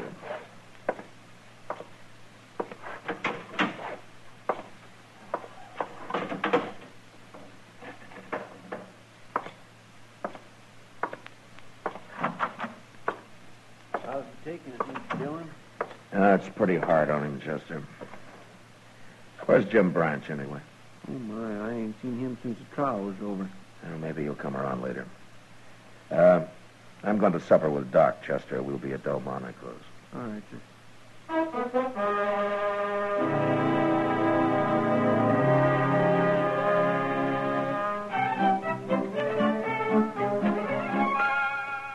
Well, a man like that could go crazy. Locked up, man? Oh, that's happened before. There's nothing I can do about it, Doc. Well, I know. I didn't mean it that way, Mac. Uh, pass me the beans, will you? These are peas, Matt, but you're welcome to them. All right, peas. Peas, then. Thank you. Uh, well, why don't you take a vacation, Matt? You know, go back east somewhere, oh, kind of like St. Louis or Kansas City, or someplace like that. Maybe I don't like towns either. Well, that's just what I mean. You you need a vacation, all right. Oh, Yeah? Well, if I were a rich croaker, maybe I could take one. Hey, Rich Croker. Croker, oh, man. Oh, Croker, man, how could you say...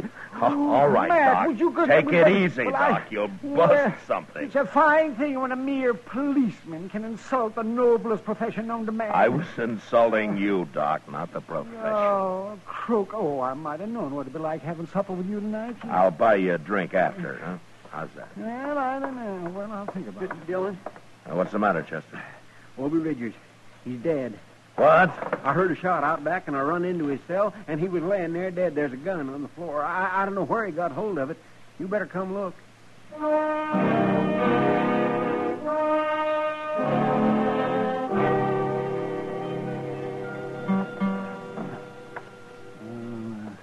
he's dead, all right, man. You think he killed himself, Doc? Well, the gun was held right close to his head.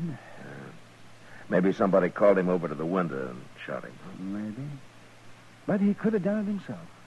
The bullet entered right here, Matt. Yeah. yeah.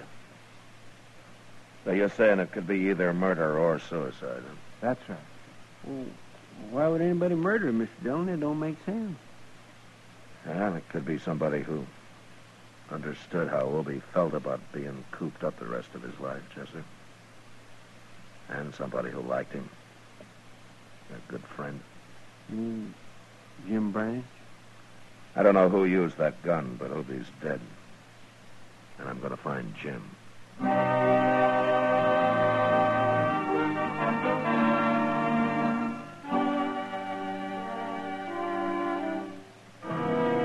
Jim Branch wouldn't talk one way or the other.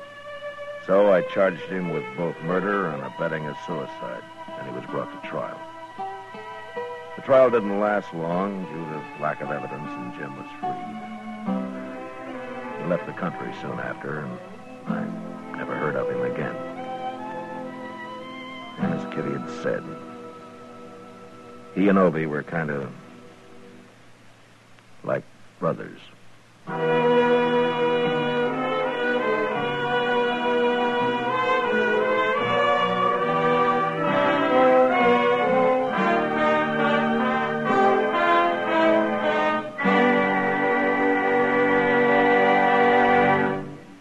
Gunsmoke, transcribed under the direction of Norman Macdonnell, stars William Conrad as Matt Dillon, U.S. Marshal. Tonight's story was specially written for Gunsmoke by John Meston, with music composed and conducted by Rex Koury. Featured in the cast were Vic Perrin, Lawrence Dobkin, Jack Kruschen, and John Dehner. Parley Baer as Chester, Howard McNear is Doc, and Georgia Ellis is Kitty. Roy Rowan speaking. Join us again next week as Matt Dillon, U.S. Marshal, fights to bring law and order out of the wild violence of the West in Gunsmoke.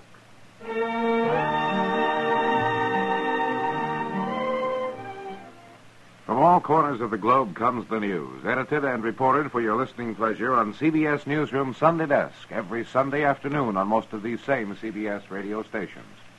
Three top reporters bring you the latest up to the minute news in their specialized fields. Dick Joy tells you about news at home and overseas. Tom Harmon handles sports. And George Fisher reports the Movieland news. That's CBS Newsroom Sunday Desk, tomorrow at the Star's address. Eve Arden as Our Miss Brooks teaches you how to laugh tomorrow on the CBS Radio Network.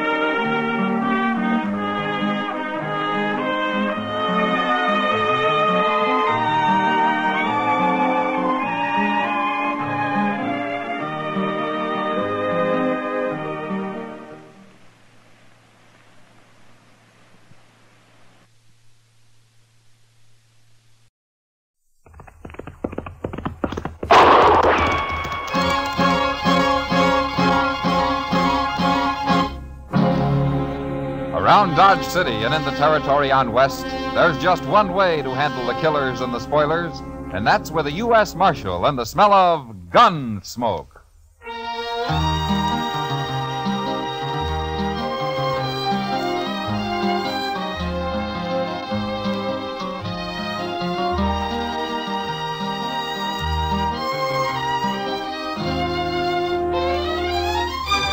Gunsmoke, starring William Conrad. Transcribed story of the violence that moved west with young America. The story of a man who moved with it. Matt Dillon, United States Marshal.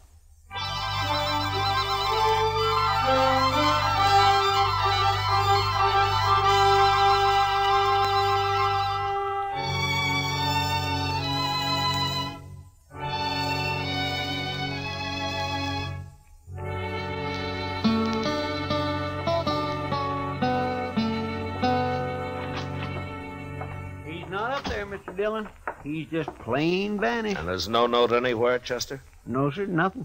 I looked again, all over. Well, it's two days now. That isn't like Doc. I still think he's just gone off on an emergency out in the country somewhere. Well, maybe, but he's always left word before.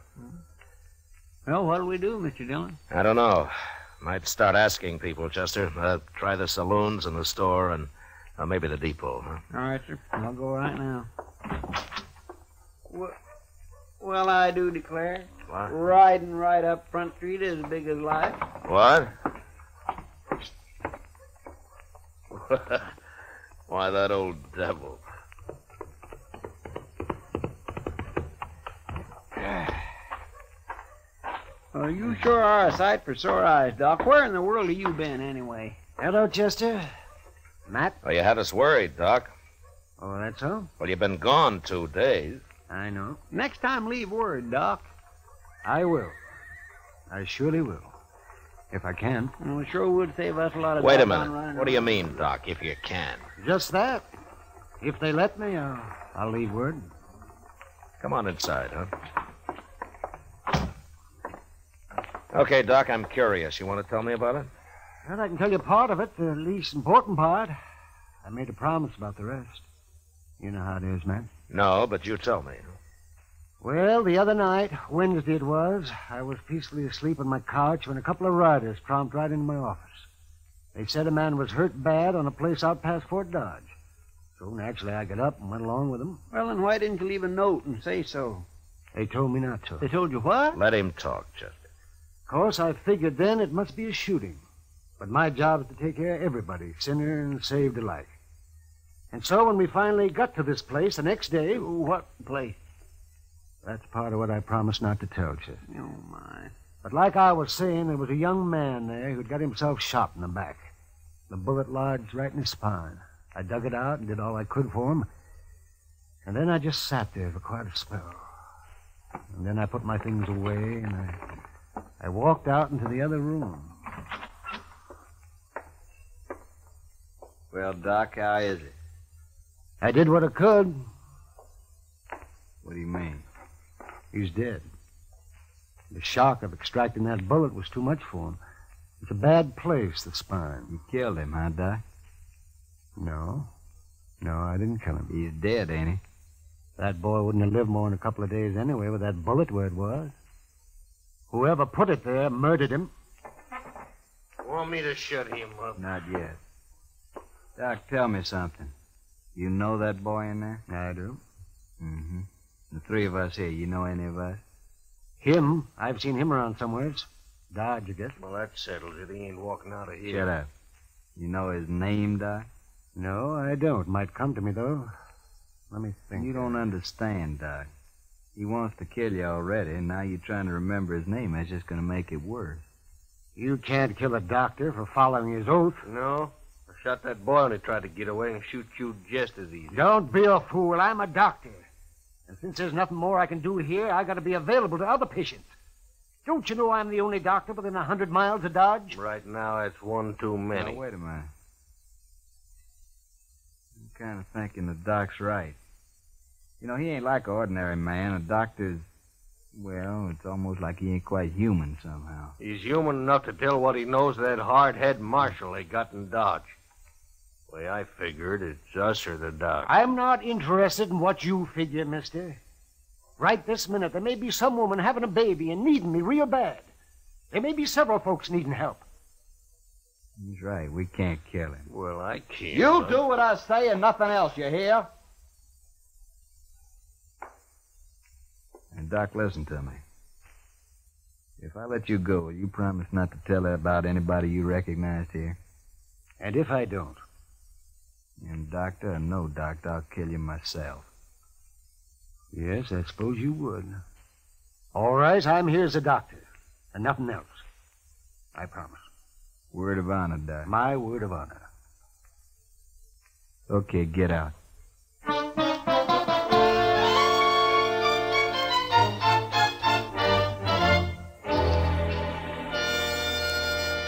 Well, that's quite a story, Doc. Oh, you played it right smart if you ask me. Who were they, Doc? Well, I only recognize one of them, Chester, besides the man they'd shot. Have you thought of his name yet?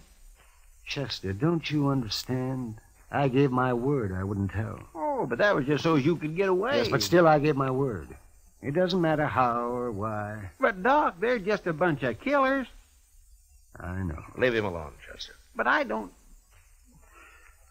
Yes, sir. Matt, Yeah. wouldn't you do the same if you were in my boots? That'd be a hard choice, Doc, but. Uh, yeah, yeah, I suppose I would. I think any man would. Leastwise, any man of honor. I guess I wasn't really thinking about it that way. Well, I'm going to get myself some sleep. Matt, that was a good boy they murdered. I, I hope they hang for it. That blossoming.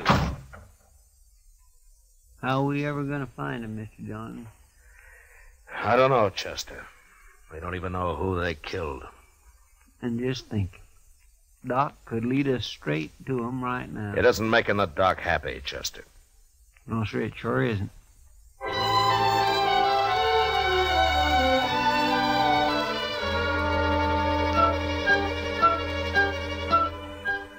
Sincerely, Matt Dillon. You. Marshal? Uh, Jake Worth. Why, you haven't come to Dodge in six months that I know of. I'm here now, Marshal. Oh? But trouble, Jake? I'd call it that. Well? You know that cottonwood? Big one down at Brandy Bend? Yeah. There's a hole down by the roots at the north side of it, Marshal. I put a sack in that hole this morning. It's got $20,000 in it. Twenty. Well, that's a lot of money, Jake, even for you. It isn't if Hank gets back all right. Hank? Well, that's your youngest boy, isn't it? 18 last month. He didn't show up the other night, Marshal, and next morning I found a note tacked on the corral. Said to leave the money or they'd kill him. Well, come on, Jake. We'll try to get there before they pick up the money. No, Marshal, I won't take any chances. They'd shoot him sure if we did that. You should have told me before you left the money. You should have come here first. You didn't hear what I said, Marshal. I won't take the chance. All I want now is for you to watch for anybody who turns up rich around here. Jake, listen to me. You listen to me, Marshal. Nobody's going to do a thing till Hank's back safe on the ranch. Not one dang thing. Jake, if they killed Hank, you'd want him hung, wouldn't you? I'll hang him myself if it comes to that. All right, then let's go. Let's get down to Brandy Bend and wait for him. No, I already told you no. Jake. I. I think Hank's dead. You what? I, I think they've already shot him and he's dead. What are you talking about? Where is he? I don't know. And how come you think he's dead? Well, I. I, I can't tell you. Marshal, I've had about enough of this. Look, we're wasting time here. Come on, Jake. I'll tell you what I can on the way to the river. You better, by heaven, or one of us ain't never going to get to the river.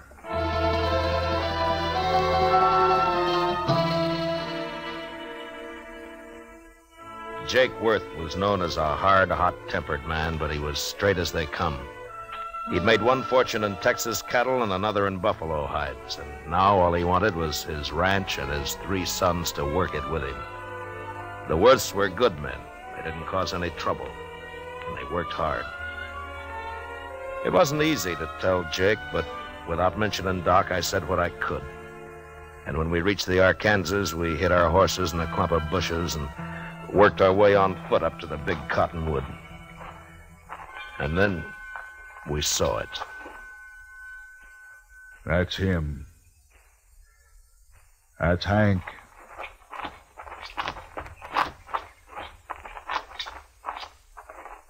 Yeah, I'm afraid so, Jake. Yeah. They killed him. They killed him all right. He was a good boy. Had his whole life to live yet. Why'd they do it? I gave them the money. Why'd they do it? I. I'm sorry, Jake. Marshal, I want the truth now, every bit of it. Well, that's all I know, Jake. Hank tried to break, and one of them shot him. But we'll get them. I'll take care of myself as soon as you tell me who they are. I don't know who they are. Don't lie to me, Marshal. You know a lot you're not telling me. I've told you all I can. That's my boy lying there, Marshal. He's been murdered, and if I didn't know you so well, I'd begin to think maybe you had something to do with it yourself. Easy now, Jake. Then why don't you tell me? Because the man who told me about it had to promise not to name anybody. That's why. What man? Who is he? I'll get it out of him if I have to cut it out. I know. That's why I can't tell you who he is. What kind of a lawman are you, anyway? I've told you all I can, Jake. No. No, you haven't. Marshal, I don't believe your story about nobody promising nothing. You know who done it. You're going to tell me. I'm giving you 24 hours to name those men. And me and my boys are coming to Dodge. There'll be blood spilt, Marshal. Jake, I give you my word, I don't know who did it. I don't believe you. I'll help you take your boy home now. Go on back to Dodge. I'll manage here. You're making a bad mistake, Jake. 24 hours, Marshal. I'll be there. We'll find you wherever you'll be. Jake, I. So long, Jake.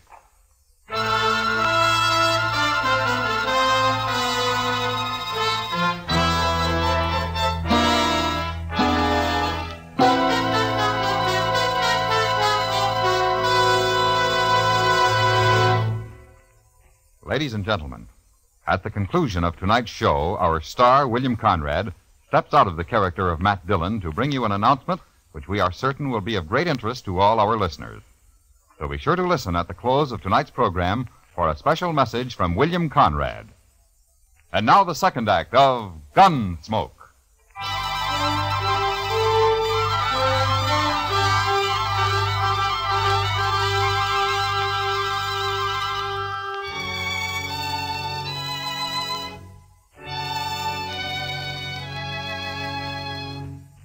There was no use arguing with him. The man's grief had destroyed his reason. And the worst of it was, I knew his sons would do whatever Jake told them to do. Unless I could stop it somehow, I'd have to shoot it out with three good and perfectly innocent men. And for no reason at all. I thought about it all the way back to Dodge. And by the time I got there, I had an idea. I went up to Doc's and I talked it over with him. All right, Matt. I'll do whatever I can. Well, it might not work, Doc. And you'll be exposing yourself to a lot of danger. Have you thought about that? I have. And I've also been thinking about the men who killed Hank Worth. Well, we could wait till they start spending their money, or till one of them gets drunk and maybe talks too much somewhere. Yes, we could, but meantime, you and the Worths will have a gunfight. Oh, and that'd be a terrible thing to let happen. All right, then, Doc, let's go. I want to get to the ranch before dark.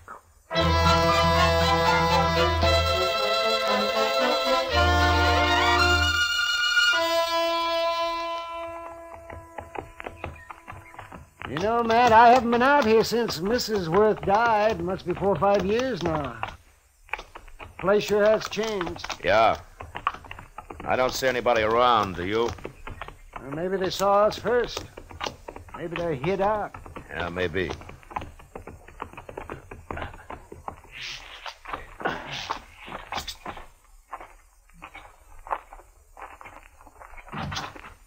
That's far enough, Marshal.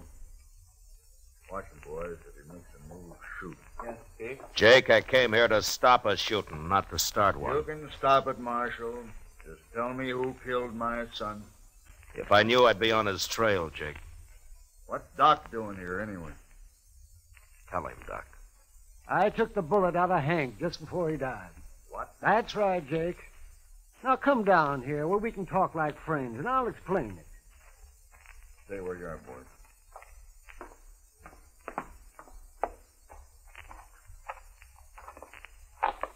All right, Doc, let's hear it. Well, they got me out of bed, Jake, and they led me out into the country. Hank had been shot in the back, and I extracted the bullet. But it was no use. He'd have died anyway. There were three men there, and I recognized one of them. Who was he? I had to promise I wouldn't tell Jake, or, or they'd have killed me. That don't matter now. Think about it, Jake. Doc gave him his word, and you're asking him to break it. Now think about it for a minute. I'm thinking, and I'm thinking about my boy, too. Hank's dead, Jake. We can't help him. Shot in the back, and the coward who did it's running free. You want to help get him, Jake? Don't ask fool questions, Marshals. Of course I want to get him. All right, then listen to me. Those men told Doc if he talked, they'd kill him. Yes, and they meant it, too. All right, so I got an idea, Jake. We'll spread it around that Doc has identified the killer. The news will reach him soon enough. And meantime, I'll lay low and have Chester tell everybody I've ridden out after them. Go on. Then we'll just wait. One or two, or maybe all three of them will come into Dodge to kill Doc some night soon. I still might get away. I'll deputize you and your boys right now, and you can wait for 'em with us. But you're going to have to stay hidden, like me. Well, we won't mind that. Not if we get a chance at them, we won't. Good.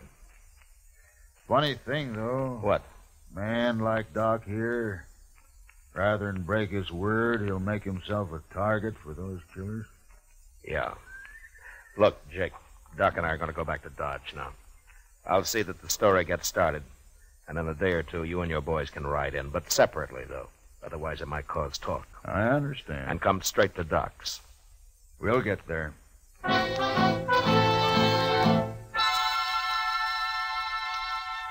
For the next few days, Doc never left his office. I figured that'd make him look scared and draw the killers right into his place. The rest of us sat around in his back room and waited. Chester kept us supplied with food and coffee. And on the sixth night, about midnight, we got our game. Mr. Dillon, I think it's them. What? They just rode up Front Street, three of them. They're tying up outside right now. They acted too deliberate like for ordinary riders, so I run up the back way to tell you. Good. Doc, come on in here, huh? What do you want me to do, Matt? Take cover in here and stay out of sight, huh? Whatever you say, Matt. Let's go downstairs and meet them, Marshal. No, we might just scatter 'em that way, Jake. Now listen. One of 'em will probably stand guard on the street while the other two come up here to get Doc. Chester, hmm? you and the two boys go down the back way. Jake and I'll wait in Doc's office. Now don't jump that man until we go into action up here. You understand? Yes, sir, I got All right, then move and move fast. All right, come on, Jake. Now what? Well, we'll just wait here in the dark. Good. I'm gonna bunch up Doc's blanket on the couch here so that they'll think he's in it. What? They're on the stairs now. All right, get back in the corner, Jake, or we'll be shooting each other. Yeah. Now, quiet. And don't start shooting till I do.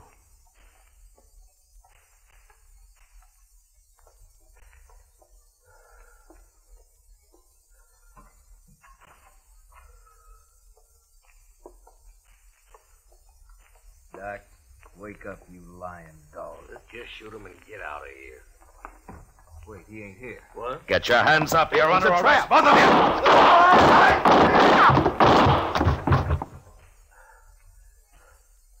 you. You all right, Jake? Yeah, I got one of them. I'm all right. Doc? Doc, come on out. They're dead. Light the lamp, will you, Doc? All right. You okay, Mr. Dillon? Yeah, come on in, Chester. Oh, we got him. He tried to get away when he heard the shooting up here, but he run smack into one of the Worth boys. He's dead. Here, bring the lamp over here, Doc. No, I don't know either one of these men. Now, Doc, you can tell us now. Is one of these the man you recognized? This one here. I remembered later I treated him for a broken nose some time back. I never did know his name. He came up the trail with a herd, I think. Yeah. Uh, Doc, will uh, you take care of things? Sure, man. Well, Jake? Marshal, uh, me and the boys will be getting back to the ranch now. Sure. Marshal, uh, I What, Jake? I doubted you. I'm sorry for that. Oh, forget it. No. No, it's best I remember. A man shouldn't make mistakes like that. Well, there was no harm done. The way it worked out. Uh, I'll buy you a drink before we leave, Marshal. I think I'd like that, Jake. Come on, let's go.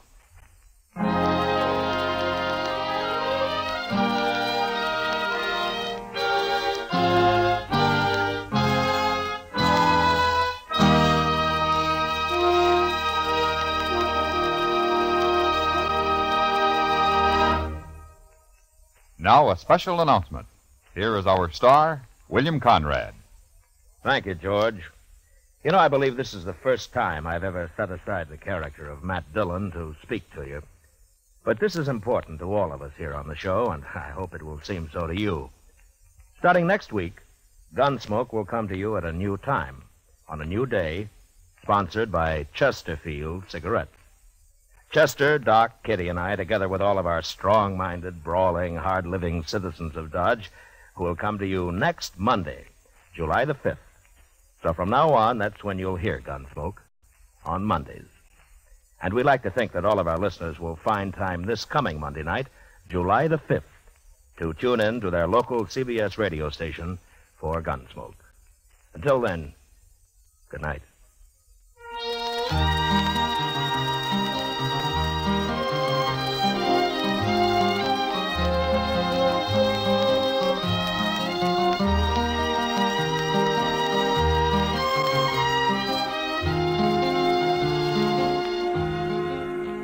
Gunsmoke, transcribed under the direction of Norman Macdonnell, stars William Conrad as Matt Dillon, U.S. Marshal. Tonight's story was specially written for Gunsmoke by John Meston, with music composed and conducted by Rex Koury. Featured in the cast were John Dehner, Lawrence Dobkin, and Harry Bartell. Parley Baer is Chester, and Howard McNear is Doc. Join us again Monday, July 5th, as Matt Dillon, U.S. Marshal, fights to bring law and order out of the wild violence of the West in Gunsmoke. George Walsh speaking. For the top tunes of rural America, hear Saturday Night Country Style every week on the CBS Radio Network.